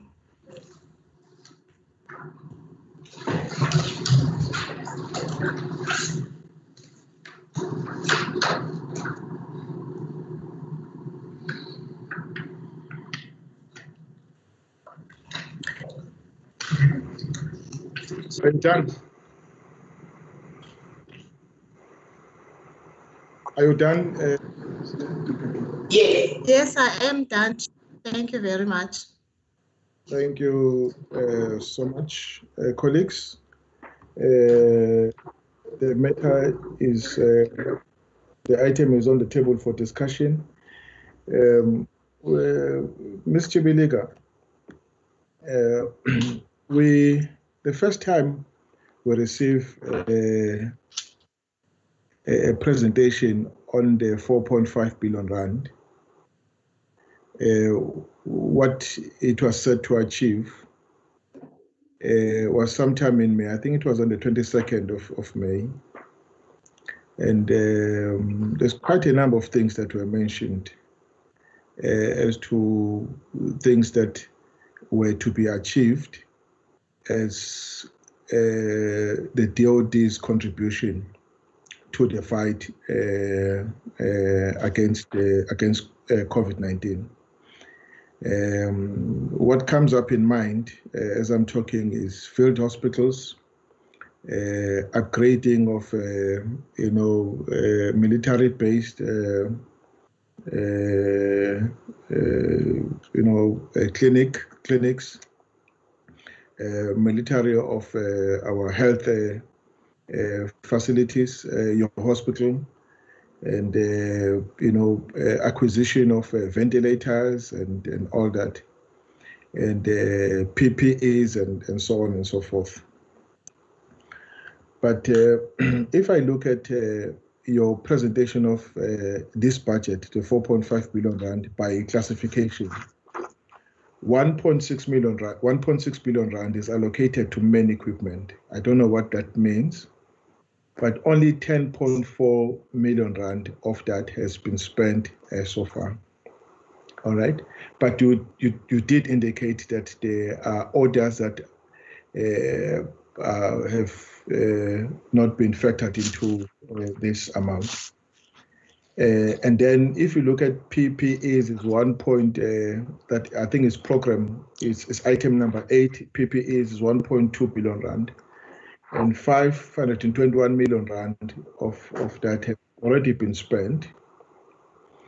Um, so that takes you into 1.3 billion rand spent against the 4.5 billion rand. All right, with the commitments, um, you call them orders of 1 billion rand that are yet to be uh, uh, what you call factored into on, onto the equation oh, onto the equation, right? See, I'm I'm asking this question uh, because um, I'm worried that I, I, don't see all these things that you spoke about when you first uh, did your presentation on what this 4, 4.5 billion rand is, is, is, is going to achieve. I'm worried that we'll wake up with a message that the money has been exhausted and um, uh, when there is nothing of the things, major things that were promised, uh, delivered. I'm, I'm worried. It is in that context that we asked you to produce a business plan, because this is a business plan with clear objectives and uh, outputs, uh, performance uh, indicators, and targets so that um, and the budget against against uh, each one of them, so that we are then able to monitor progress on the expenditure and whether you're actually achieving on the things that you uh, uh, set out to achieve. So, in the absence of that, we are discussing your budget in the in the uh, what you call in what um, in the space. That's that's my worry. Uh, okay, I've made my opening remarks, which is a major concern. Colleagues, uh, may I uh, recognize your hands? Yes, Chair. Cobus Marais. Uh, is Mr. Marais and uh, is that uh, Mmutle? Yes. Uh, was it Mmutle? Oh, yes, uh, Thabo Mmutle. Um, uh, uh, who else, colleagues, so that I recognize all the hands before I ask the DOD to respond. Uh, I only have recognized two colleagues, uh, Mr. Marais, Mr. Mmutle. Uh, any other? Thank you very much, Chair. Any much other? appreciated. Right. Thank you. Thank you very much, Chair. I I want to start off by by by echoing what you have said and, and the concerns that you have raised. I, I certainly share that. if I go back to right in the beginning in terms of the presentation, uh, I just wanted to get clarity for myself. In March, the president uh, approved the deployment of soldiers, and that was um, that was 4.5 billion rand. Uh, and that was at an average of about 61,000 rand per soldier uh, deployed at that stage. Now, whether this 4.5 billion rand refers to that 4.5 billion rand, I don't know, because last week we have received a second uh, confirmation of deployment from the president of another 1.5 billion rand. So that that that brings already uh, six six billion rand that the president has has confirmed. Um, but here we only see 4.5 billion rand. Also, in terms of the, the, the budget submitted by the Minister of Finance, I might be I, I stand to be corrected, but according to that, of the 4.5 billion rand, um, only 2.88 billion rand, if I'm correct, um, was was was coming additionally to to the department. Now you you might say there's not a much difference between 3.88 and 3, but that's about 1.1 billion rand, which is which is a large sum of money. So we need to get clarity on that and exactly where we stand, and also why the why there why there was such an increase in cost per per uh, employed soldier from 61,000 to 75,000 rand of the 1.5 billion rand. That is that is kind of a huge huge concern uh, uh, to me. Um, if if you if you then go further, so uh, part of the presentation that we have now seen, it seems like there's about uh, of cost for the Cubans for the Cuban doctors. We uh, in terms of of uh, articles that are that we have written and uh, parliamentary questions that I've seen, I was under the impression those costs were carried by the Department of Health. Now we see there's flights for the Cubans of 8 million rand and accommodation of 22 million rand that the Department um, of Defense seems to be carrying. Um, so is that a double dipping? Is will there be an, an, an invoicing out to the Department of Health that will be refunded to the Department of, of, of Defense? And, and why um, is it that, that, that the Department of, of uh, Defense must now carry those costs? There, there's also a, a number of other things that we have seen. Um, so we, we must make sure what is the actual shortfall that we are talking about. Um, is it is it uh, six billion rand in terms of cost of employees as well? or or what is the actual bottom line that we are talking about? Because if it's six billion rand shortfall, uh, then we know that we are in huge trouble uh, towards the end of the financial year. Then, then also in terms of of that one uh, towards the end, there was a presentation of the costs, and what we have seen that on on the cost of of joint operations, it seems like there was a financial authority of 10 million rand, orders of 5.7 million rand, but there was already 132 million rand spent. Now that seems to be excessive uh, in terms of overspent already at this stage. So given that COVID will still proceed well beyond September, that the current deployment and the 1.5 extra 1.5 billion rand is, is, is, is referring to, um, you know, we need to get more information on on how how it came about that such a big amount has been spent uh, against uh, and who approved that and whether that will be seen as, as unauthorized expenditure. Um, also, I want to know that um, the cargo flights from China, what, what was those cargo flights? And simultaneously on the quarantine costs of 14 million rand, uh, I was under the impression the Department of Public Works is responsible for quarantine facilities, or is that quarantine facilities for South African soldiers uh, that is that is uh, you know being infected by the COVID nineteen? So so so we need to get um, again that uh, that and also then all aircraft charter. There's about 28.9 million rand that is for aircraft charter. Again, if it is the the the um, uh, uh, you know repatriation of South Africans, obviously we need to to know whether those money will come back. Then, then, sir, uh, another another point, and that's one one point that I've got where it's actually a, a, pity that the minister, the deputy minister, or the SecDef is not is not um, present. Currently, we know, and I know that you will not allow further discussion, and there's no point in further discussing it in this meeting.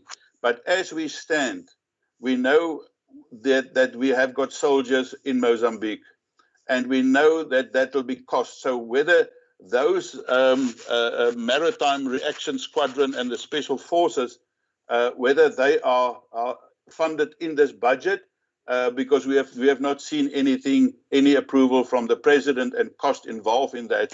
Uh, I suppose that will be done in a, in a closed session, but that is commitments that we've currently got, and we know about the ISIS threat.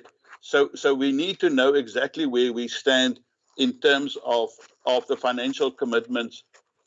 So so uh, if I can get feedback on that and then lastly, you know, it is it is again uh, very concerning that neither the minister, deputy minister, SecDef, chief of the SANDF, or the CFO is present.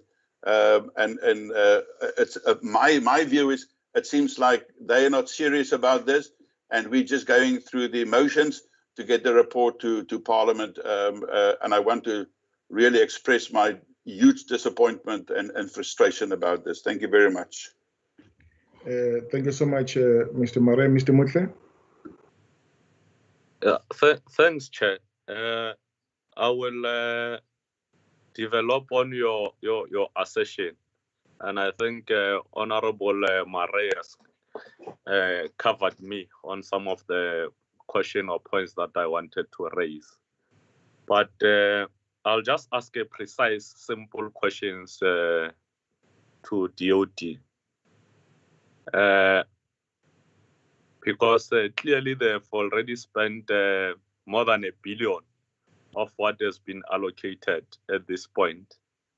Uh, and probably they'll clarify by answering the, the questions that we have raised as to on what uh, has that money being spent on uh, in relation to the presentation that they have made. But my my simple question is I just need them to confirm are they implementing the COVID 19 uh, 4.5 in line with the cabinet decision? I just want uh, if they can say yes or no. I'm precisely asking this because uh, Armscor should be playing a role uh, and it's not playing a role and already they've indicated if a billion is gone out of the three million, out of the three billion, uh, literally is two billion uh, that is left, and Armscor has not played any role uh, at this point in terms of us, in terms of how the decisions were taken from cabinet and implementation thereof. I think that that that I think that's that's a simple question, Chair, and I will pause there. Thank, thank you so much. Um, over to you, uh, Ms. Chibilika. Um, you may then deal with the respond to, to the questions. Thank you, Chair. Um, I will ask the, the log division and the SAMHS environment to assist us with the details of what is currently in the process. But the questions that I can answer is um, the flights to to the, the repatriation flight. I think it's a question that was asked towards the end by uh, the honorable member. The repatriation flight from China uh, when at the very beginning, when um, uh, COVID was uh, at the starting, that amount has been claimed from the Department of um, Health, sorry, from the from DIRCO. But I must also mention that the four and a half billion was estimated cost at that time. Some of the items that are included in the um, have fallen off, but some new ones have been added as well. But that presentation is still in the process of being approved or being approved by the, the PDSC internally at DOD. The, the cargo flights from China, that was relating to the PPE that was supposed to be purchased by uh, DOD directly from China via Armscor. And I think LOG also will be able to assist us with those questions. Um, I think for now, all the questions basically need to be answered by LOG and uh, SAMHS, also joint operations. One other one that I need to, to answer is um, the, the slide where uh, joint operations uh, expenditure is more than what was presented, that what was uh, what is ordered. The reason for this is because um, the deployment costs, these are the deployment costs that are added to, to joint operations instead of HR, because joint operations does the deployment, hence that 132 million that is there. So it's not an unauthorized expenditure, it's just a, a, a joint operations deployment that's in there. Over to Dr. Gamede to direct must answer. Okay, thank you uh, very much.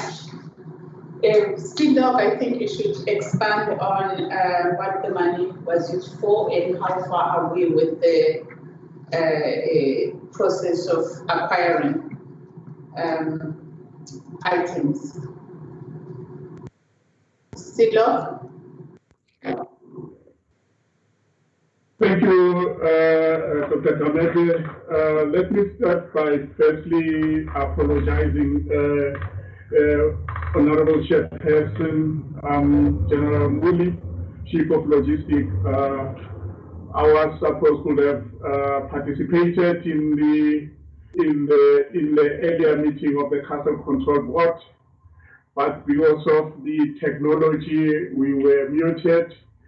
I only heard the last portion of the, the presentation by my colleagues from the Castle Control Board.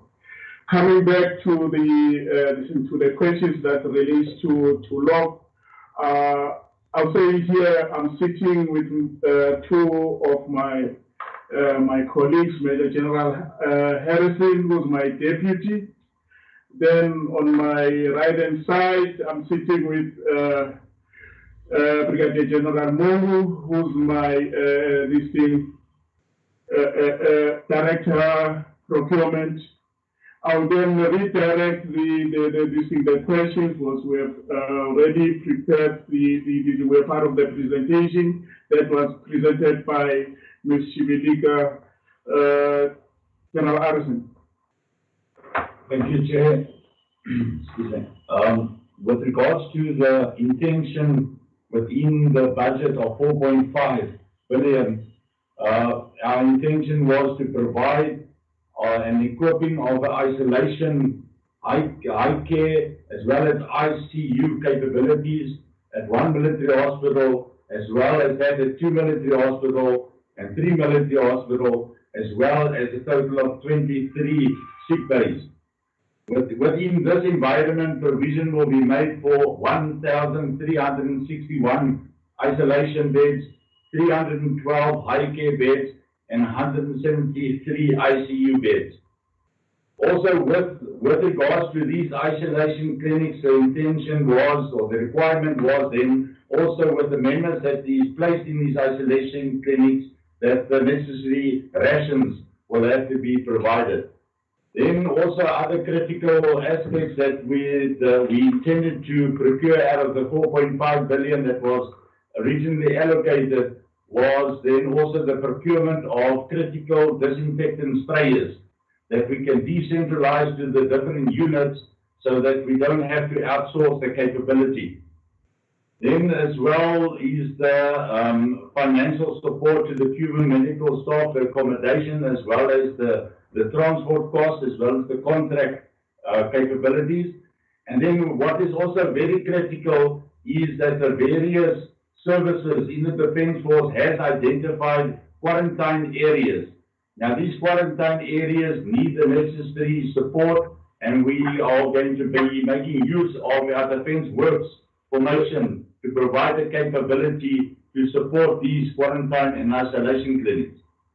So if I can also then mention that um, with regards to the log environment and log division, we have already committed by means of FAs of over a billion with regards to combination of PPEs as well as other equipment that was procured in support of COVID-19.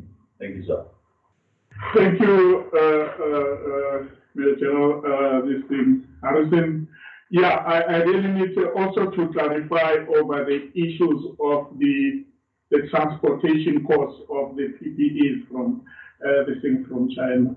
Those PPEs which we are still going to procure from China is the law uh, division. We are in the process of uh, of doing that.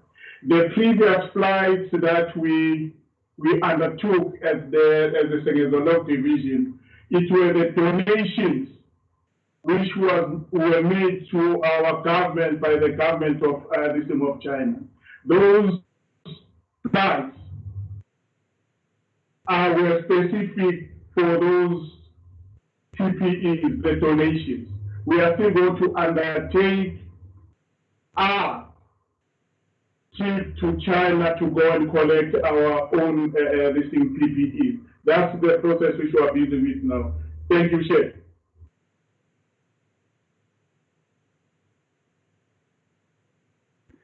Are you, are you done? Yeah, we are done for now, uh, Chef. I, I, uh, uh, Chair, Chairperson, I, I hope, I hope they are not done because they haven't answered all the questions. I, I, I thought so. too. I, I thought so. too. Uh, There's, can you switch off your mic? Uh, is, uh, Mbuli, can you switch off your mas- mic, please? Um, you see, colleagues, you can see the situation is, the presentation is not satisfactory. Let me tell you why it's not satisfactory. It's because you are spending money uh, when there is no plan. There is a plan, but we have not seen the plan. I'm not too sure if you have a plan that you are all, uh, uh, you know, speaking uh, to. I don't know. I mean, if there was a plan, I understand the situation we, we find ourselves in. Uh, the plan will have shifting targets, you know, because um, you you we, we are all fighting this moving target. We understand that, but now you are talking, but um, we really don't know what we are achieving. It's true there were intentions, but we don't know to what extent of those intentions or those intentions are going to be realized to make good on them. It's not clear. And uh, I, I, I don't know. Uh, Dr. Gamede, can you answer the rest of the questions, um, uh, those that have not been answered? Uh, I know maybe you may even ask uh, your colleagues to assist. Uh, I'll take cue from you. Thank you, Chair. What I wanted to say before I give to General Manswane, who is in charge of all the, the, the operational plans, um, is that in my opening, I did indicate that we have already included um, uh, COVID-19 um, activities in our plans that we are tabling. Obviously, uh, the detailed activities will be in the operational plans that are within uh, the department. Um, but I'll allow uh, General Ramatswana, who's responsible for the plans, to expand on the plans and what has been done and is to be done. General Ramatswana? Um, Chairperson, thank you very much. Um, let me start off, Chairperson, by saying the following. I uh, uh, and I got your concerns loud and clear. The to start off, person, the, the DOD do have a plan. And that plan, what happened is right from the beginning of COVID-19, the plan, we developed it. And when we developed it as the DOD, we then shared the plan with National Treasury. And the National Treasury do have a plan against which our budget has been allocated. So what we have in our own documents as the main plan, that is what National Treasury have. So if we were to go to National Treasury today and say, produce the DOD plan, we'll give you the plan that we have, which talks to 4.5 billion. Now, having said that, Chairperson, I, I, I, also want to add in the question that has been asked by Honorable Marais. Honorable Marais says, what is the bottom line that we're dealing with? Chairperson, and, and all what Honorable Marais have said in terms of the bottom line, I agree. The bottom line that we are dealing with, which is what we are trying to present to members of the portfolio committee now, right now, we are dealing with the bottom line of the letter of allocation. And what is that letter of allocation? That letter of allocation is the one that have said to defense, we know you have asked 4.5 billion, and that 4.5 billion was there right from the beginning when we started with planning, which was also, as we know, in the employment papers.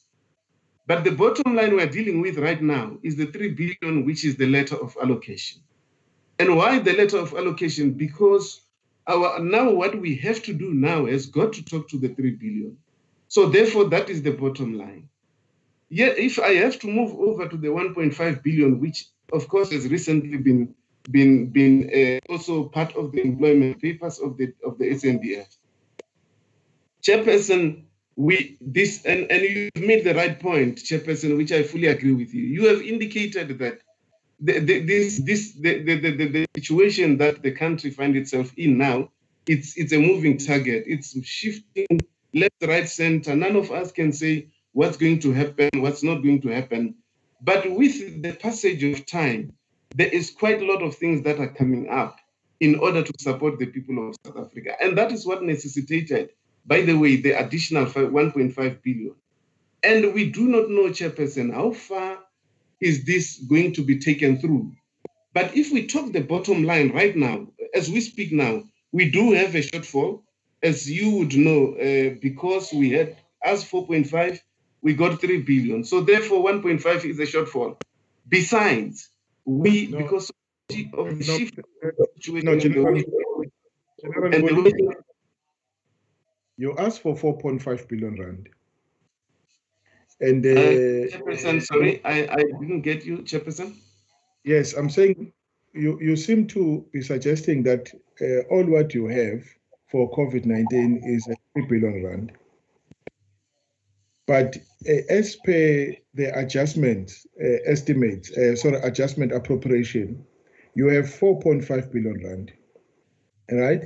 Because uh, 1. Uh, billion rand, 1.2 billion rand of the uh, 4.5 billion rand was going to be realized through the savings in the department. In other words, you're going to shift 1.2 billion rand that you would have effected from the savings to combine with the with the with the three billion rand that you got from treasury to make up the amount that um, you you you the four point uh, something 4.5 billion rand whatever it is.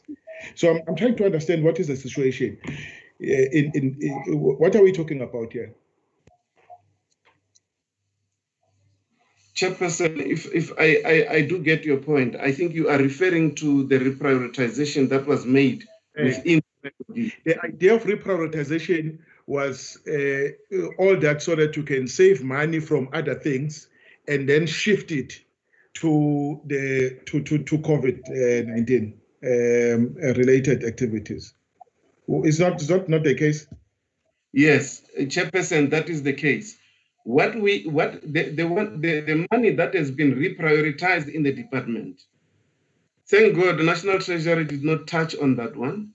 And we were also praying for that because of the fact that there are additional in terms of in terms of making sure the aircraft can fly, in terms of getting some of the some of our uh, maritime uh, uh, um, capabilities to be going, we wanted to put that money in those particular areas.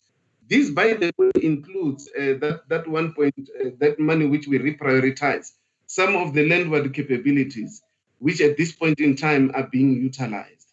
So that is why we have taken it and we have said this money that we've reprioritized, we, we can put it and therefore then it, to make sure that all those capabilities we can get them running once again using that, that particular funding. So therefore, Chairperson, as, as I as I say, uh, the, the, the bottom line now that is why we're talking the bottom line as the three three billion. But you're quite correct, Chairperson, with the money that we have reprioritized, okay. and and that that provides the clarity. I just want to say, Chairperson, what we have done in the slide when we say that there is no visibility in terms of what we indicated earlier on in terms of what we are going to do. If we look at the first slide, second, third, the fourth one, the fourth slide, Chairperson, what we did there, we gave an abridged version in terms of what the DOD would require, what the full spreadsheet of the DOD, which by the way, we have also sent it to National Treasury. So if that slide is short of information, we will accept that because behind that one slide, there is a lot of lines that are running across. And therefore, then that is why then, Chairperson, I'm saying that we, we gave that one slide. And if Chairperson, we, we, we, we can, if members, honorable members say no, we want to see behind that one slide, what is it that is there? We are then able to go and say to honorable members that, okay, behind the one slide, this is what was there. So, Chairperson, this is in short where we stand with this. And we are saying the 1.5 that is now uh, in the employment papers, we are hoping that most probably during the adjustment budget, uh, National Treasury is going to look at that and they are going to be assisting us on that. Uh, and, and that's about it, Chairperson. Uh, if there is any follow up, please, I am ready to respond on any follow up question again. And, and if that slide of information, Chairperson, our apology. Okay. Colleagues, uh, any other question? Chairperson, can I can I just um, um, inquire from from uh, the people involved? Because on that first slide, it says that our cost of employment is, is, is a major problem. So in terms of the cost of employment, we already purely on that, there, there's, a, there's a 3 billion rand shortfall. Um, so that is over and above all the other costs that they must now spend. Because what we actually require is the original 4.5 billion rand that was approved by the president in March. And, and remember, the, the, the, the budget by the Minister of Finance is for the year, whilst the 4.5 billion rand was for the three months, and the 1.5 billion rand now is also only for three months and and we we we know and and and all the indications is that this uh, three months will be extended further. So how and where do we see a reconciliation of that? Because it seems like there are some of that money that that is now said have not been spent or have been reprioritized or or maybe have been rolled over. We don't know that.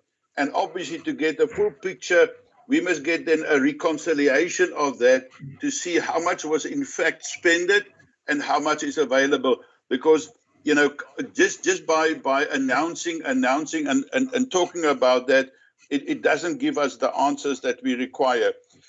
Just with regards to the the, the money that that i have re, uh, request, uh, uh, questioned to logistics about the uh, the cuban doctors will will that be refunded by the Department of Health? Um, because we we see it here, but but we need to know who will be funding it. Because as I've said, in terms of articles plus parliamentary questions, I got the impression that the Department of Health is, is standing in for that cost.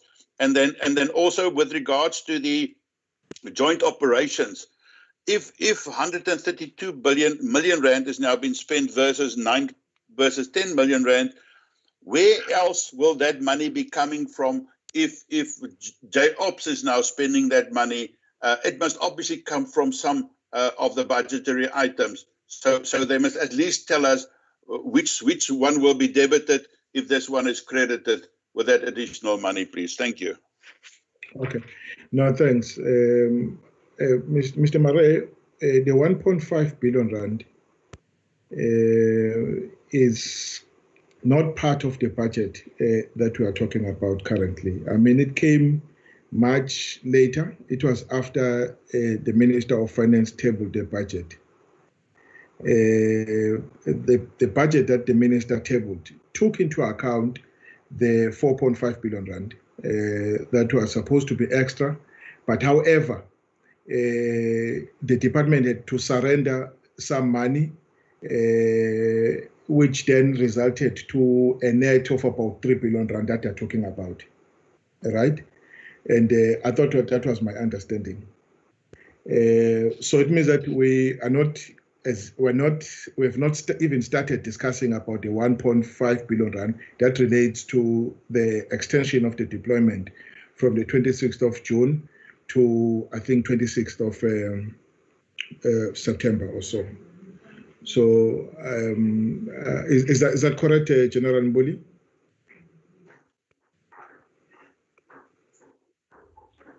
But it's part of the bottom line. It's part of the bottom line. No, no, no. The one for the Who's going? Colleagues, who, who has got the figures? Uh, Dr. Gamede?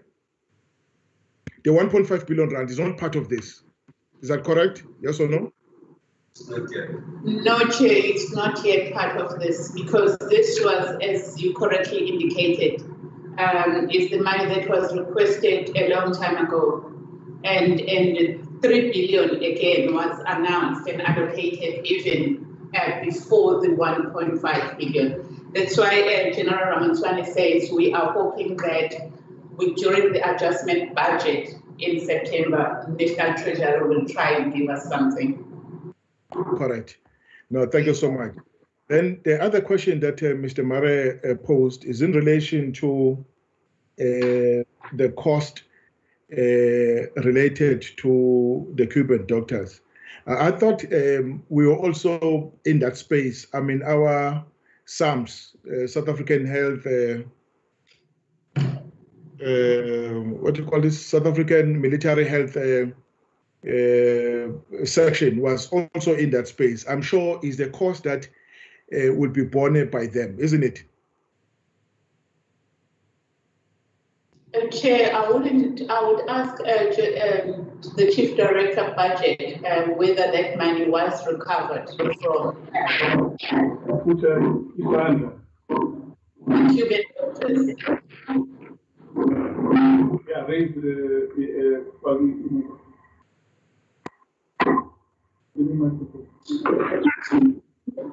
Who's online? Uh,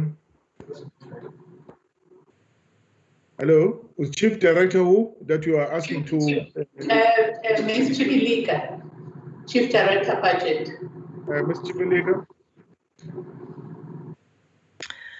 Uh, thank you, Chair.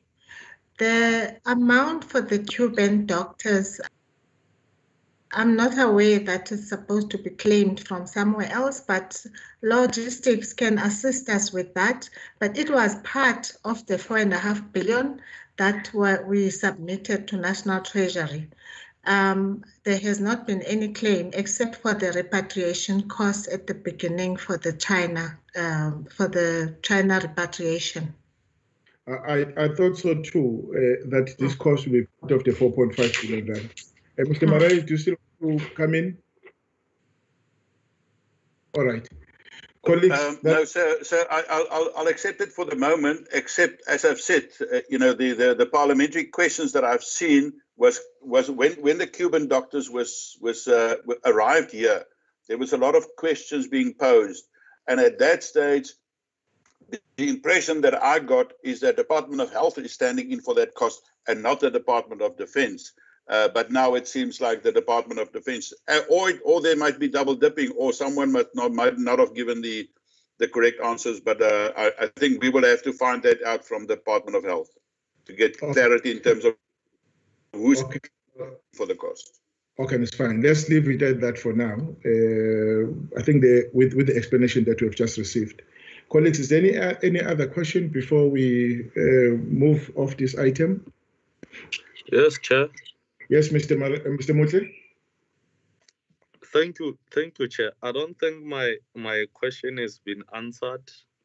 Uh, however, uh, General uh, has uh, indicated that they they have a plan, and I want to believe that plan should be in line with uh, cabinet decision on how they should implement uh, that particular plan.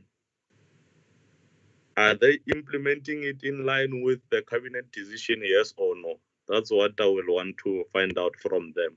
Secondly, the, the, the, there is an allegation, maybe it will go to, to uh, General Mbuli, this one. There was an allegation that uh, 14 SAI, they don't have PPEs, they don't have uh, uh, all the necessary equipment uh, for them to deal with COVID 19. And that matter was raised with SecDef. Uh, I just want to check if they are aware that uh, these PPEs that they are procuring are reaching all bases within the country. Uh, and how effective is their their distribution to to bases? Thank you, Chair. Thank you so much. Uh, Chairperson. Have you been made aware of this? Yes, who's that? Mr. Mafanya here.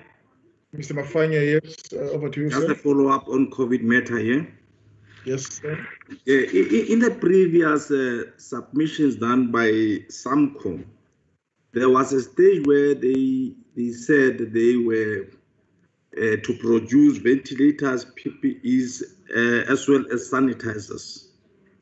Now, today we hear that uh, the DOD, through Samanco, uh, Armscor, were to purchase the PPEs and, and, and, and, and ventilators from China.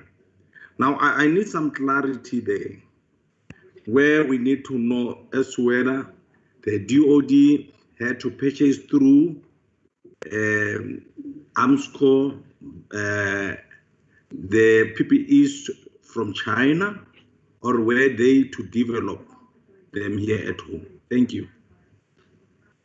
Uh, thank you so much. M- Maybe, Chair, Chair. Yes, uh, Mr. Ma- Mmutle. Ma- Mafanya just, com- uh, Honorable Mafanya just reminded me of a question that I wanted to ask to to General Mbuli. What is the purpose of uh, procuring direct from China, uh, whilst uh, we must uh, support uh, the industry within South Africa? uh, to ensure that we capacitate and we build capacity. If I can get a clarity on that, what is the main intention of ignoring capabilities within the country going direct to China? And that uh, also uh, defies the transformation and the empowerment uh, uh, policies that we seek to implement. Okay. Um, over to yes, sir, Mr. Mar- Chairperson, just if I can, uh, thank you for the opportunity.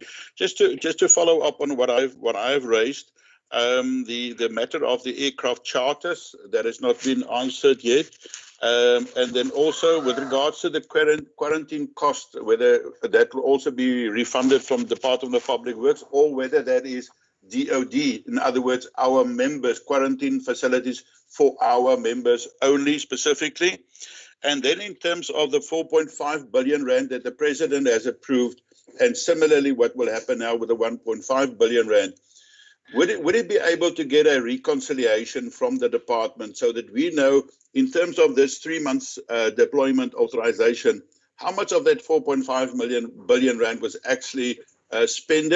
And obviously in terms of this current 1.5 billion rand, which will be part of the next quarter report, whether we can get a, a recon specifically on that 1.5 billion rand, because that, that makes a, a major impact on No. the on, on the rest of the year. Um, but so so in other words, it's not part of the budget, but Yes. it's just a question whether we can get a recon on that. No, please take it out of the question, Mr. Marais. Uh, we can only deal with the 1.5 billion, uh, 1.5 billion rand once it has been presented in Parliament by the Minister of, of, of Finance. So far, we only know of the 4.5 billion rand.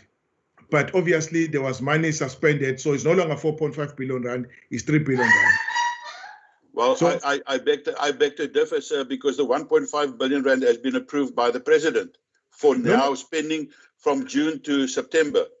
Yes, It's been no, no. approved by the president. No, no, no. It will come through uh, the adjustment that will be made much later in the year. So it's not part of this adjustment. This adjustment was very quick to deal with what was known at the time. Right. What would be known from uh, the time when the minister made the appropriation adjustment and uh, to the time when he makes a new appropriation adjustment, that would be factored into that adjustment appropriation. In other words, um, that adjustment would be made uh, in about uh, uh, October, uh, November month, thereabout October, October month. So, so I'm saying whatever comes up now as whatever crisis would only be uh, captured in the next uh, uh, uh, adjustment appropriation. This was specific to deal with uh, what was known at the time uh, of presenting the budget. Ms. Chimlega, you want to say something? And deal with uh, other questions. Yes, um, thank you, Chair. I just want to clarify, we requested an estimate budget of four and a half billion. Then National Treasury went through our submission, uh, trying to justify the four and a half billion, and they came up with giving us a three billion allocation. The four and a half billion, yes, was announced by the president, but it's not actually what we got.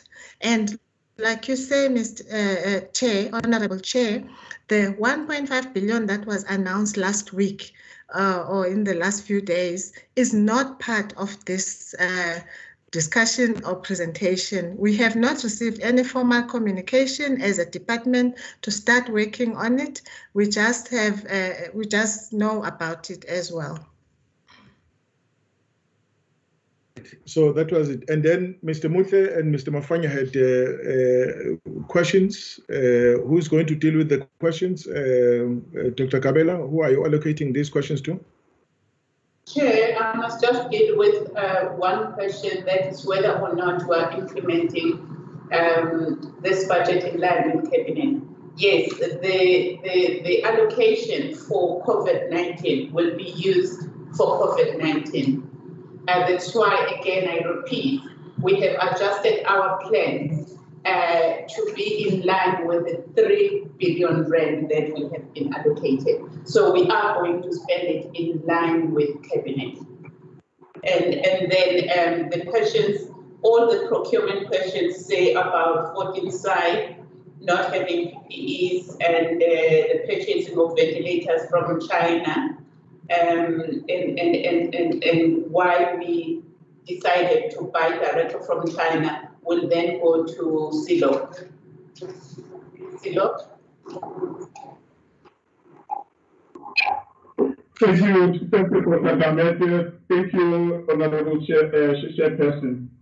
If uh, I- I'll deal with uh, this in the two questions, and my uh, my generals next to me will also assist in answering these uh, these three questions. Let me start firstly with the 45 uh, this question. Your Honor, we we are weekly sending all the PPEs to the different ASB army support bases in in, everything in the country. And there is a daily situational report that comes from all the services giving us the status of the PPEs in the environment. CJ Ops, which is directly responsible in deploying uh, uh, all these uh, existing elements, can put uh, uh, this thing away was every week we've got meetings twice a week where we give the uh, CJ give the status of the PPEs in each and every uh, this, this, uh, this environment. We haven't received any issue on 14 side. If I have to add your, uh, uh, this in your honorable uh, distinguished person, when I say every week there is an aircraft that leaves water to to the different areas to go and drop the, the, the, the, uh, the, PPE. Coming to the uh, why procuring in, uh, in China, the honorable uh, distinguished person, uh, in the beginning of things when we were then told to get everything involved, we find ourselves in a situation where we're faced with a, uh, this, a crisis of giving our deployed members the, the, this, the PPEs. The, the Military Command Council then instructed CLOC because all the companies which were providing the PPEs were waiting for their PPEs from China. Then the Military Command Council said, so it's better that no, with the, the bilaterals that we have with the state companies in China, the military companies that we have in, the bilateral uh, the, the relations, talk to them if and see if they can provide us with the, the, this thing, the PPE. But we were faced with uh, this thing, uh, a situation, Your Honor. I can now tell you, Your Honor, we have already spent about 750 million locally in buying the, the, the, the PPE. The only things that we are going to buy from China is the medical equipment like the ventilators, the test kits. Those are the things which we are in discussion with Armscor to assist us to go and buy these ventilators and the test kits existing in China. But the rest of the PPEs, the masks and all those things, we are buying them locally. Thank you, Your Honor. Uh, no, can you add? Uh, th thank you so much. much for, for, I think we have dealt with all the the, the questions. Um, unless I'm wrong, all what remains for me now is to thank uh, you, Dr. Gamede, uh, uh, Brigadier uh, Ramatswana, uh, Brigadier, uh, sorry, General Ramatswana, and uh, General Mbuli, and, uh, and, and the team, uh, DOD, for the, the presentation um, uh, today. Um, we are fully aware of the financial constraints that you have to uh, deal with. Um, firstly, you had a, a budget um, a shortfall of about uh, 3 billion rand um, uh, on your against your compensation of employees. And uh, that uh, shortfall uh, remains a shortfall even now. Um, despite the, the, the, the, 700 million rand that was uh, allocated uh, to you, it's, it's, it doesn't go anywhere nearer to addressing um, all your COC um, funding requirements. So we are aware of that.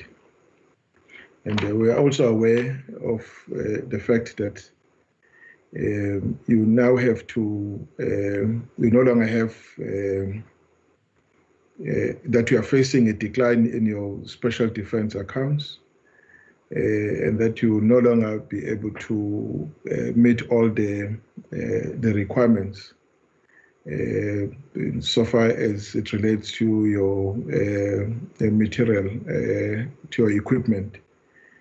Um, or your obligations with the Armscor and Armscor with other people. Um, so we are aware of all that. So we will navigate through this together. And uh, it's a painful situation, but we have to live with it, uh, understanding the situation in our economy. Our economy was not doing well uh, before uh, lockdown. Uh, hence, some departments had to take a, a cut. Then came lockdown, which made uh, the situation even worse and uh, further cuts had to to be effected on almost all votes. So not the only vote that is affected. So I'm sure what's happening here is happening throughout the the, the, the continent and in the, world. We really uh, uh, sympathize with you. So we wish you well as you uh, undertake your, your work wherever you are. And uh, we really thank the good work that uh, you are doing, our soldiers are doing, let alone the negativity, but you are doing a good work. We see our soldiers on, on the front line, uh, uh be it in the engineering service, be it in the health uh, service, and uh, be it in the you know maintenance of law and order out there. We are really grateful and um, we really appreciate the good work that they are doing. And um, right just recently, we received a, a message that uh, Eastern Cape uh, called on the soldiers to be deployed, uh, especially the health section, uh, SAMHS, to be deployed with immediate effect to come and assist there to rescue the health um, uh, system uh, that side. And we are really appreciative of, of that. With that, I really thank you. your budget will be approved uh, but of course, we still have to come back to us to discuss the, the, the, the, the business plan in relation to the 4.5, which is now 3 billion rand. We are aware it's no longer 4.5, it's 3 billion rand. And um, we're not too happy with the way we have presented it uh, so far. There are things that were mentioned, but please come back to tell us that we're no longer going to do this, we're no longer going to do this, this is what we're going to do. Because what you are presenting uh, to us right now is a situation where you are fixing the aircraft uh, in the air, you know, as it is leaving, as it is flying. So we are aware, but I'm sure you can still produce something uh, that uh, if you are going to maintain hospital, you simply say, these are the hospital. With this budget, we'll, this is so much we'll spend on the hospitals. Yeah, in the sick base, with this budget, this is so much we are going to uh, spend on the sick base. If you have quarantine sites developed, uh, this is the budget for all quarantined um, uh, facilities. But of course, you'll only come back to us when at least there's firmness in relation to all those uh, activities. Right now, it's still very so soft. We are aware of it. And they are chasing a, a moving target, like we said. But I'm sure there will come a time where everything starts to uh, be very firm. And, and and and and because only then your plan would be uh, you know solid. All right, with that we we can excuse you, and uh, so you are free to leave at any time when you want to leave, and we'll then quickly move off this item uh, to deal with um, DMV. Dr. Gamede, you want to make a closing remarks uh, before I release you? Thank you very much, and uh, thank you for your kind words and understanding. I will take your concern um, that you indicated at the beginning about the attendance of the second uh, to him. Um, but I would just like to um, uh, uh, say to members that the SecDef is actually at the center of coordinating um, the fight against COVID 19 as uh, chair of the JCPS cluster, he's also chairing the net joint. So his hands are really full. It's not because he didn't want to come here, but he had to go because he's the center that is holding other beaches together when it comes to this uh, chair. Thank you. Yes, no, no, no. Thank you uh, so much, uh, colleagues. Um, uh, uh, uh, uh, uh, I now release the team. Uh, DOD, thank you very much. Uh, DMV, uh, I saw General um, Kwebi uh, uh, on, on on the screen. Uh, DMV. Th- th- thanks, you were- Chair. uh, Your cut is 137 million. Uh, I'm sure it will be very quick. 10 minutes presentation. Uh, th- th- thanks, Chair. We'll try our level best. Uh, the Mr. Ndlovu is with us, with the CFO of the department. As Chair, you've just indicated that uh, the allocation for 2021 financial year was 683 million. Now, the revised allocation is 546, informed by the uh, adjustment of 137.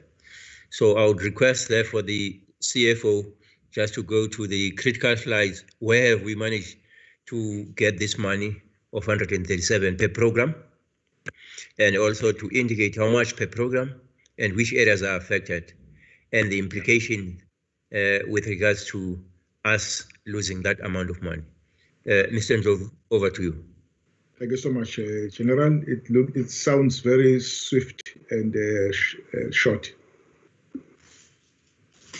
Uh, th- Thank you so much, uh, DG. Uh, Good day, uh, Chair, uh, and honorable members uh, of the committee. Uh, We will be quick, Chair. Basically, what we have done in terms of the presentation as it flows, we've just provided historical spend pattern for the department since it became independent of the Department of Defense.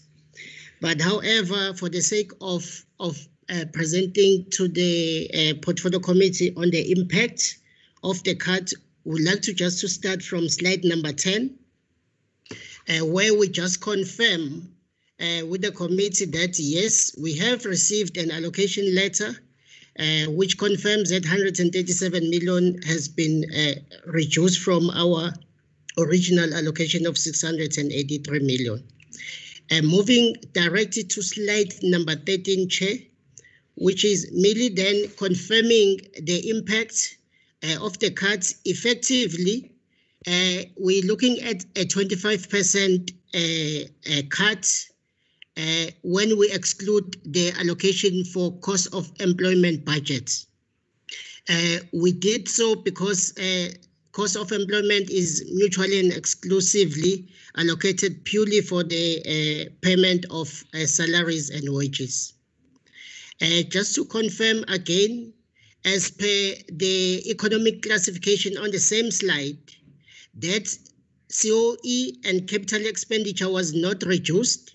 It was only goods and services uh, that was reduced by 47 million, and then transfers and subsidies reduced by 90 million. Of the 47 million, the allocation by branch is confirmed on slide number 14, Chair and uh, members of the committee, where administration was reduced by 15 million. Uh, uh, socio-economic support uh, branch reduced by 90 million, and empowerment and stakeholder management reduced uh, by uh, 32 million. Uh, just to also indicate, uh, Chair and members, that the 90 million was a direct reduction on the benefits, uh, mainly on education support by 60 million. And then you, you've got other social benefits, uh, which was reduced by uh, 20 million, and healthcare support uh, reduced by 10 million. So the total reduction, as confirmed, is 137 million.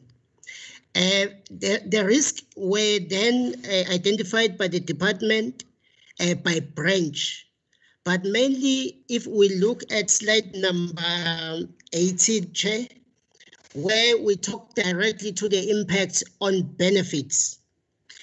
Uh, the reduction on, on healthcare support within the social economic support of 10 million does not necessarily reduce the key performance indicator, uh, which is then provision of healthcare supports to military veterans.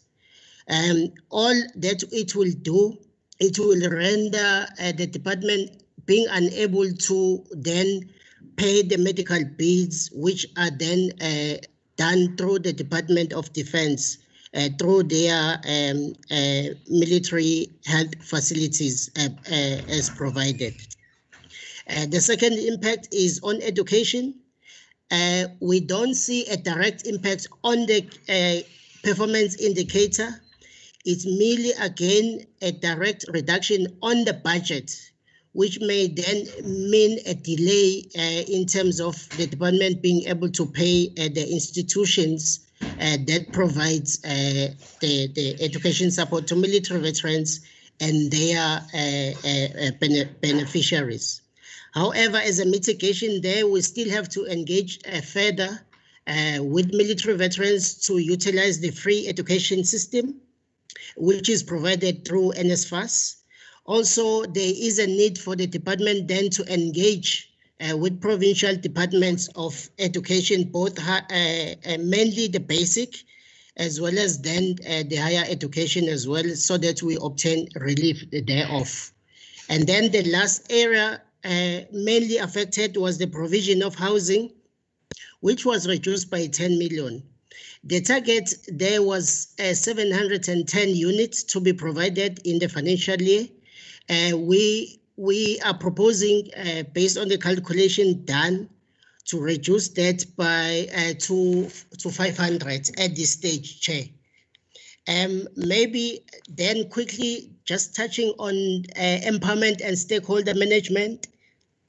The, the key indicator there that was affected was the provision of heritage sites. We had planned to provide three uh, due to our dependency on construction as well as uh, interaction uh, through uh, the Department of Arts and Culture. We then are proposing to remove that indicator completely. However, the funds that were earmarked for these projects, uh, which was a 5 million rand, will be redirected towards uh, burial support. Uh, the rest of the other reduction, mainly on goods and services, was admin related, except that on empowerment and stakeholder management, uh, we were also uh, requested to fund the three conferences, uh, which is the MK, the SANVA, as well as the SACC. So those funds have since been removed at this stage. Uh, so that then we can be able to absorb the budget re reduction. So all in all, Chair, we do uh, appreciate the situation that the country is facing, uh, which is the pandemic. And, and in response to that, then these are the areas that we have then reduced in terms of the budget allocation. However, internally, uh, the accounting officer will direct us further in terms of how then do we uh, solidify our plans so that then we are not found wanting in terms of the spend as well as uh, the key delivery against our APP. That will be it uh, from my side, Chair. I would like to just hand over to the accounting officer to wrap up. Thank you. Thank you so much, uh, General Mgwebi. Any further comment? except to say, Chair, we are required now to revisit our annual performance plan uh, with these kind of cuts, including our strategic uh, plan uh, in terms of the next five-year period. And we have re received those guidelines from the Department of Planning, Monitoring and Evaluation. So we are in that process as we speak. And of course, we are requesting that the your good selves take note of what's happening and the impact of that as far as the special adjustment budget. And if there's any guidance or direction, we would at least uh, be willing to take that on board. All right. Thanks. No, thank Thanks, you so much. Thank, thank you so much, uh, General. Uh, I'm sure by the time we meet uh, to deal with the first quarter performance report, uh, your plan would have been revised. Uh, your annual, perfor annual performance plan, plan would have been revised, isn't it? Yes, yes, Chair. Thank you so much. So we'll leave that uh, at that for now. All right, uh, colleagues, may the, the, the matter is on the table. Um, uh, can I check if we do have uh, comments uh, from the committee members? Comments? Uh, comments? Uh, it doesn't look like there is any comment. Uh, oh, Hello. uh, yes, Bab Shelembe. Uh, okay, let me let me note you, Bab, Ma- Bab Bab Shelembe, Maliake Shelembe. Thank you. Thank you so much. And any other colleagues before I? Uh, any other co- comment? All right. There's only one comment on on this vote. Uh, vote 26. Uh, presentation. Uh, uh, uh, General, over to you, sir. You may then deal with. Oh, sorry. Oh, Maliake Shelembe, please. The platform is yours. Thank you very much, Chairperson. Well, um, I know that there are a lot of things that are very, very challenging in the department uh, as far as uh, the budget is concerned. Well, I can see that, I mean, uh, the reduction or pruning of the budget, uh, right, I mean, uh, with it's about 137 million something. But Chairperson, um, just want, I want to know from the department. They say when it comes to the support to education, uh, they will engage. Um, I think they, they want, I mean, to see if uh, NSFAS can accommodate, I mean, uh, those people who are being supported by the department uh, in education. Are there any arrangement uh, that has been initiated by the Department of Military Veterans with the Department of, of Higher Education to see whether the NSFAS will be able to make, I mean, uh, funds available so that, I mean, we don't see, I mean, uh, those who are benefiting from that uh, scheme, I mean, I mean, uh, ending up not getting assistance uh, from the department because now, well, I mean, uh, they've started their education and they, there is no need now to say when they go to school, they are being turned away to say they have not paid this and that. If they can clarify whether arrangement has been made with the Department of Higher Education in this regard. And then two, uh, I see now there is a reduction uh, of uh, 21 million from, I mean, uh, the budget of uh, the MK South African National Military Veterans Association and South African Cape Corps. Now, well, I missed something here. How much was the initial budget for this elective conference? Because if they say they they have reduced the budget for this uh, elective conference by 21 million. So what was the initial budget? I'm trying to get the figure there to see if the reduction is 21 million. And also to know why do we have so much just for these elective conferences of the MK, Sanva, and South African Cape Corps? Going forward, I mean, uh, Chairperson, I, I raised that question about the South African Cape Corps uh, because there's something what you call, as they said now, there is uh, an association, I mean, uh, dealing with that.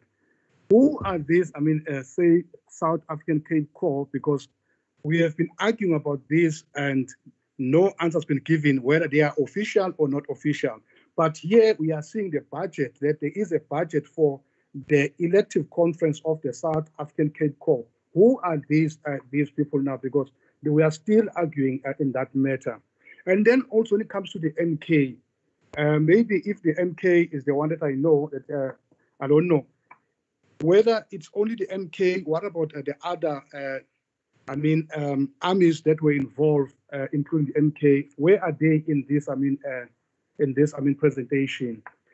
Chairperson, I'm looking now to the issue of the housing. Uh, yes, I can see now, well, uh, there is a problem now to, I mean, to, to continue with the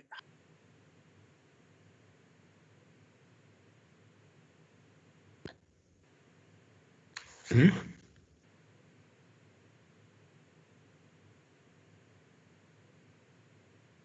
Did I lose you? Hello, colleagues, have I lost him? Yes, Chair, we can't hear him. Oh, not anymore. I thought uh, the problem on my side. Hello? Hello? Yes, uh, uh, pl- please, uh, we lost you. I'm not sure where did you lose me, but I was busy with, I mean, uh, the budget, budget reduction of 21 million. So you are still checking uh, the, the, the of the SACC Military Veterans Association, asking why are we uh, still, why are we spending money on them when there's still a dispute uh, whether they are uh, recognized or not. I think the question was around that, was around that. Oh, thank you very much, uh, Chairperson. Uh, I think that question maybe was clear. And then, Chairperson, I was now on the issue of um, housing vandalism. Yes, there is a complaint that now they can't, they will be struggling to, to build houses for military veterans. But uh, if maybe they can help me now, whether that issue of illegal uh, occupation of houses for military veterans has been sorted out, so that I mean we don't go on, I mean, uh, building houses. At the end of the day, we don't find military veter- veterans to occupy uh, those houses. Third person, I'm worried uh, also because now nothing is being said about uh, the Military Veterans Appeals Board, which was a big argument uh, in our pres- uh, last presentation by the board. That I mean, there is there was no budget for them for the past I mean uh, five years. Now I don't see anything being considered to see now what is the board going to do if I mean we are in that situation. Maybe if if there's something that is being done to ensure that this uh, appeals board is assisted. I don't see anything in the budget. I don't see any. Please, uh, if they can uh, clarify on that. Thank you. Yes, uh, colleagues. So uh, those were the only questions, uh, seeing that uh, you was the member with the question. Oh, who is that? Mute. Oh, Mmutle, welcome, welcome, uh, uh, welcome back. Yeah, no, no, no, no. I, I, I missed the the session where you were looking for. Oh, I see. I suspected so. All right, over to you, sir. Okay, no, thanks, Chair. I just want to find out uh, from uh, the DMV uh, in terms of the impact that uh, this budget cut will have uh, with regard to their footprint, uh, their new uh, provincial offices. Uh, as that was uh, a positive indicator in terms of them reaching out uh, to military veteran and uh, uh, uh, ensuring uh, effective uh, service delivery to military veteran. What what is their plan then going forward? Uh, how are they going to maneuver with that budget cut with regard to that uh, uh, uh, uh, move of ensuring effectiveness and accessibility of military veterans to their offices? Secondly, secondly is with regard to to accessibility of uh, uh, healthcare of military veterans, uh, because uh, what what we have had also is in line with uh, uh, what we have heard from the DoD in terms of uh, what they've presented to say they are going to renovate and ensure that uh, uh, they have sick bays in in in several uh, uh, bases that are, will be functional. Uh, to what an extent uh, has the DMV uh, been proactive in ensuring that it can be able to deal with members that need healthcare services across the country to access uh, with agency uh, these uh, healthcare services, given the fact that they are cons- they will be constrained in terms of the budget, but uh, their effectiveness is still uh, required to ensure that uh, uh, uh, uh, military veterans do have access effectively and efficiently to these services as they are meant uh, for them. So yeah, I think uh, those are my two questions. Thank you. Thank you so much.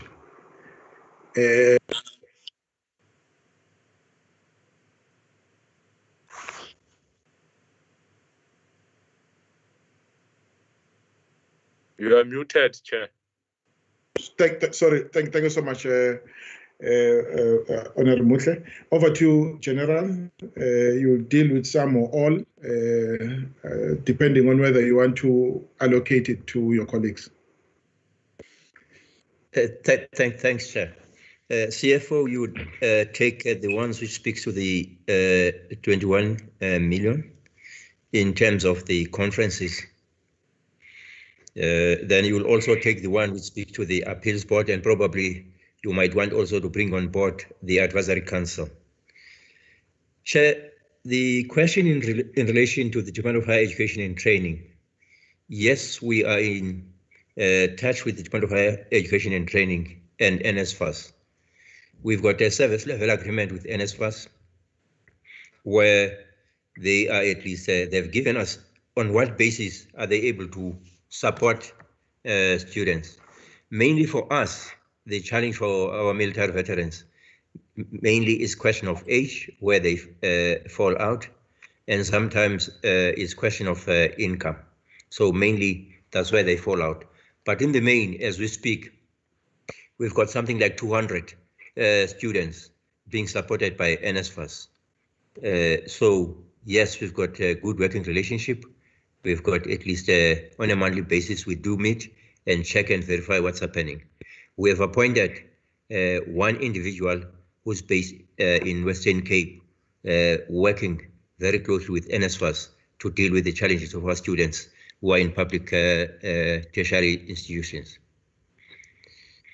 As for the South African uh, Cape Corps, the Cape Corps is part of the SADF, which the SADF has got uh, what they call as an association CMVO. But the Cape Corps, they then decided to get out of the CMVO environment, claiming all the history and their dissatisfaction, and then they approached the minister to be uh, recognized as an association. That recognition was done uh, by the minister uh, as an association. What was left of them was to engage Sanva and be able at least uh, to be taken on board as part of uh, the new association. Sanva was expected to make a decision, and then we then also, like all other associations, therefore going forward, we start funding their activities, of course, through Sanva. So that would be the Cape uh, the Cape Corps.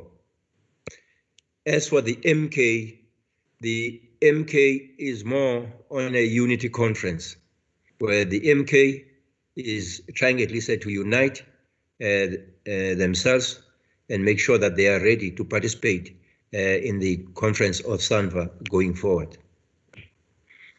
For the other associations, except MK, they did have their own conferences.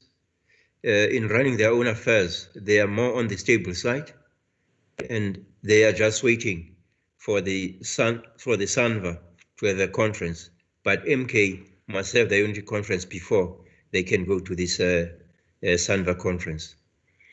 The issue of illegal occupation of houses, what we have done between uh, us and the Department of Human Settlement, both at national and provincial level, we have taken a position which says in the allocation of sites before the actual building, we are now beginning to allocate sites to military veterans before they start uh, building, so that the military veteran at least can associate himself with that structure going up, so as to prevent any illegal occupation um, by any other person. So we bring them on board as early as possible.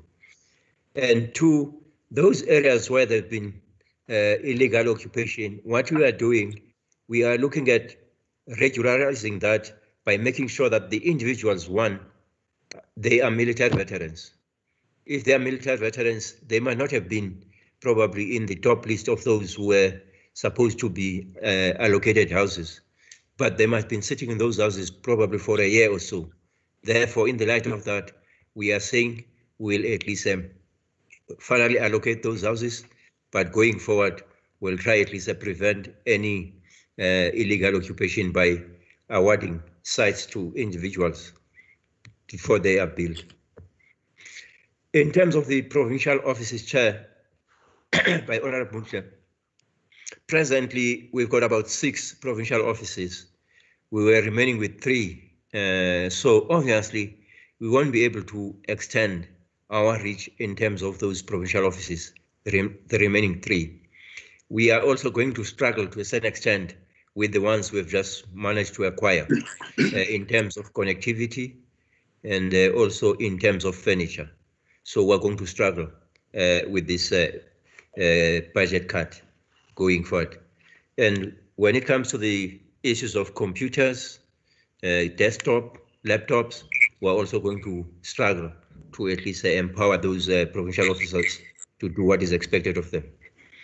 As for the healthcare, we are working with the South African Military Health Service with regards to availing their sick bays right through the country where our military veterans can at least go. Then depending on the seriousness of uh, the situation in terms of whatever challenge they might be having, then it is in sick bays through their doctors who refer them to public hospitals or private hospitals, depending on the case, and sometimes taking them to their own hospitals, which is uh, one, two, and three military hospitals. The chicken baking nyama yako ni ingekho etafuleni.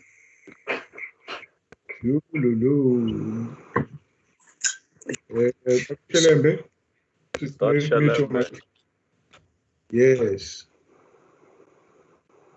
So, Chair, that was uh, my my response. I would ask the CFO therefore to just uh, respond on the 21 million in terms of uh, venues and facilities. Uh, how much was uh, uh, budgeted, and also what is the impact of this as far as the appeals board and the advisory council. CFO.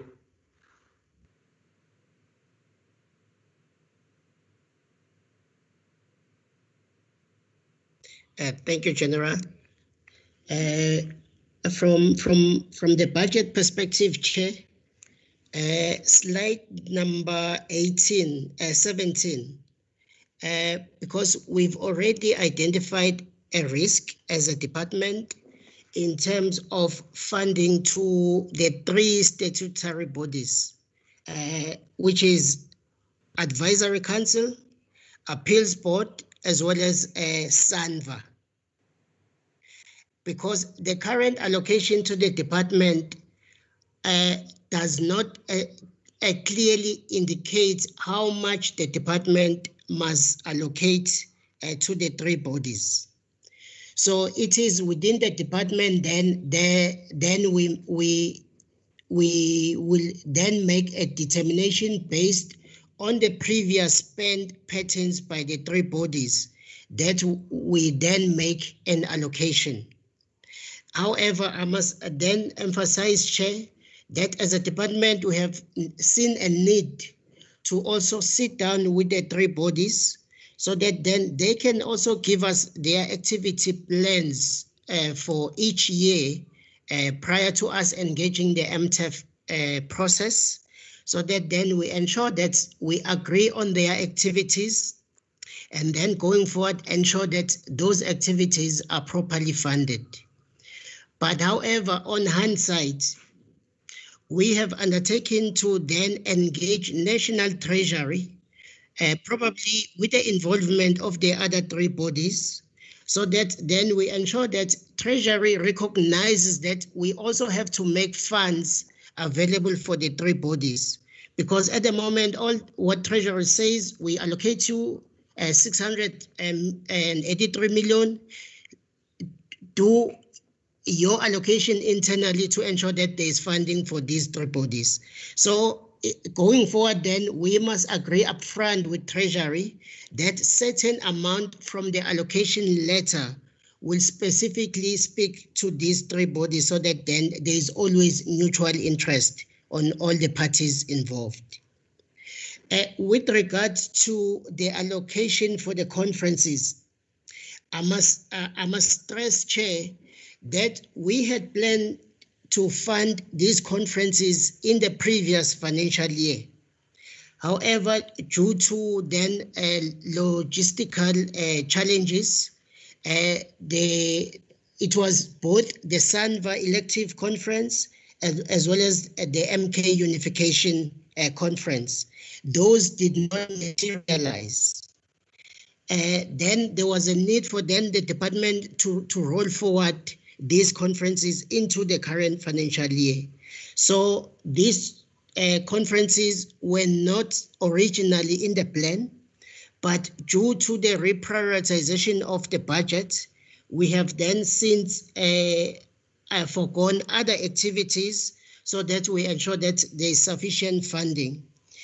Uh, to say what informed the 21 million, the 21 million was informed by previous spending on, on conferencing, um, and mainly uh, on the previous activities because we have funded uh, conferencing in, uh, in, in the past and also based on the number of delegates that were then uh, proposed by the, the, the, the, the, the, formations. Then we have uh, then allocate funds per individual uh, based on the number of heads uh, that were uh, proposed.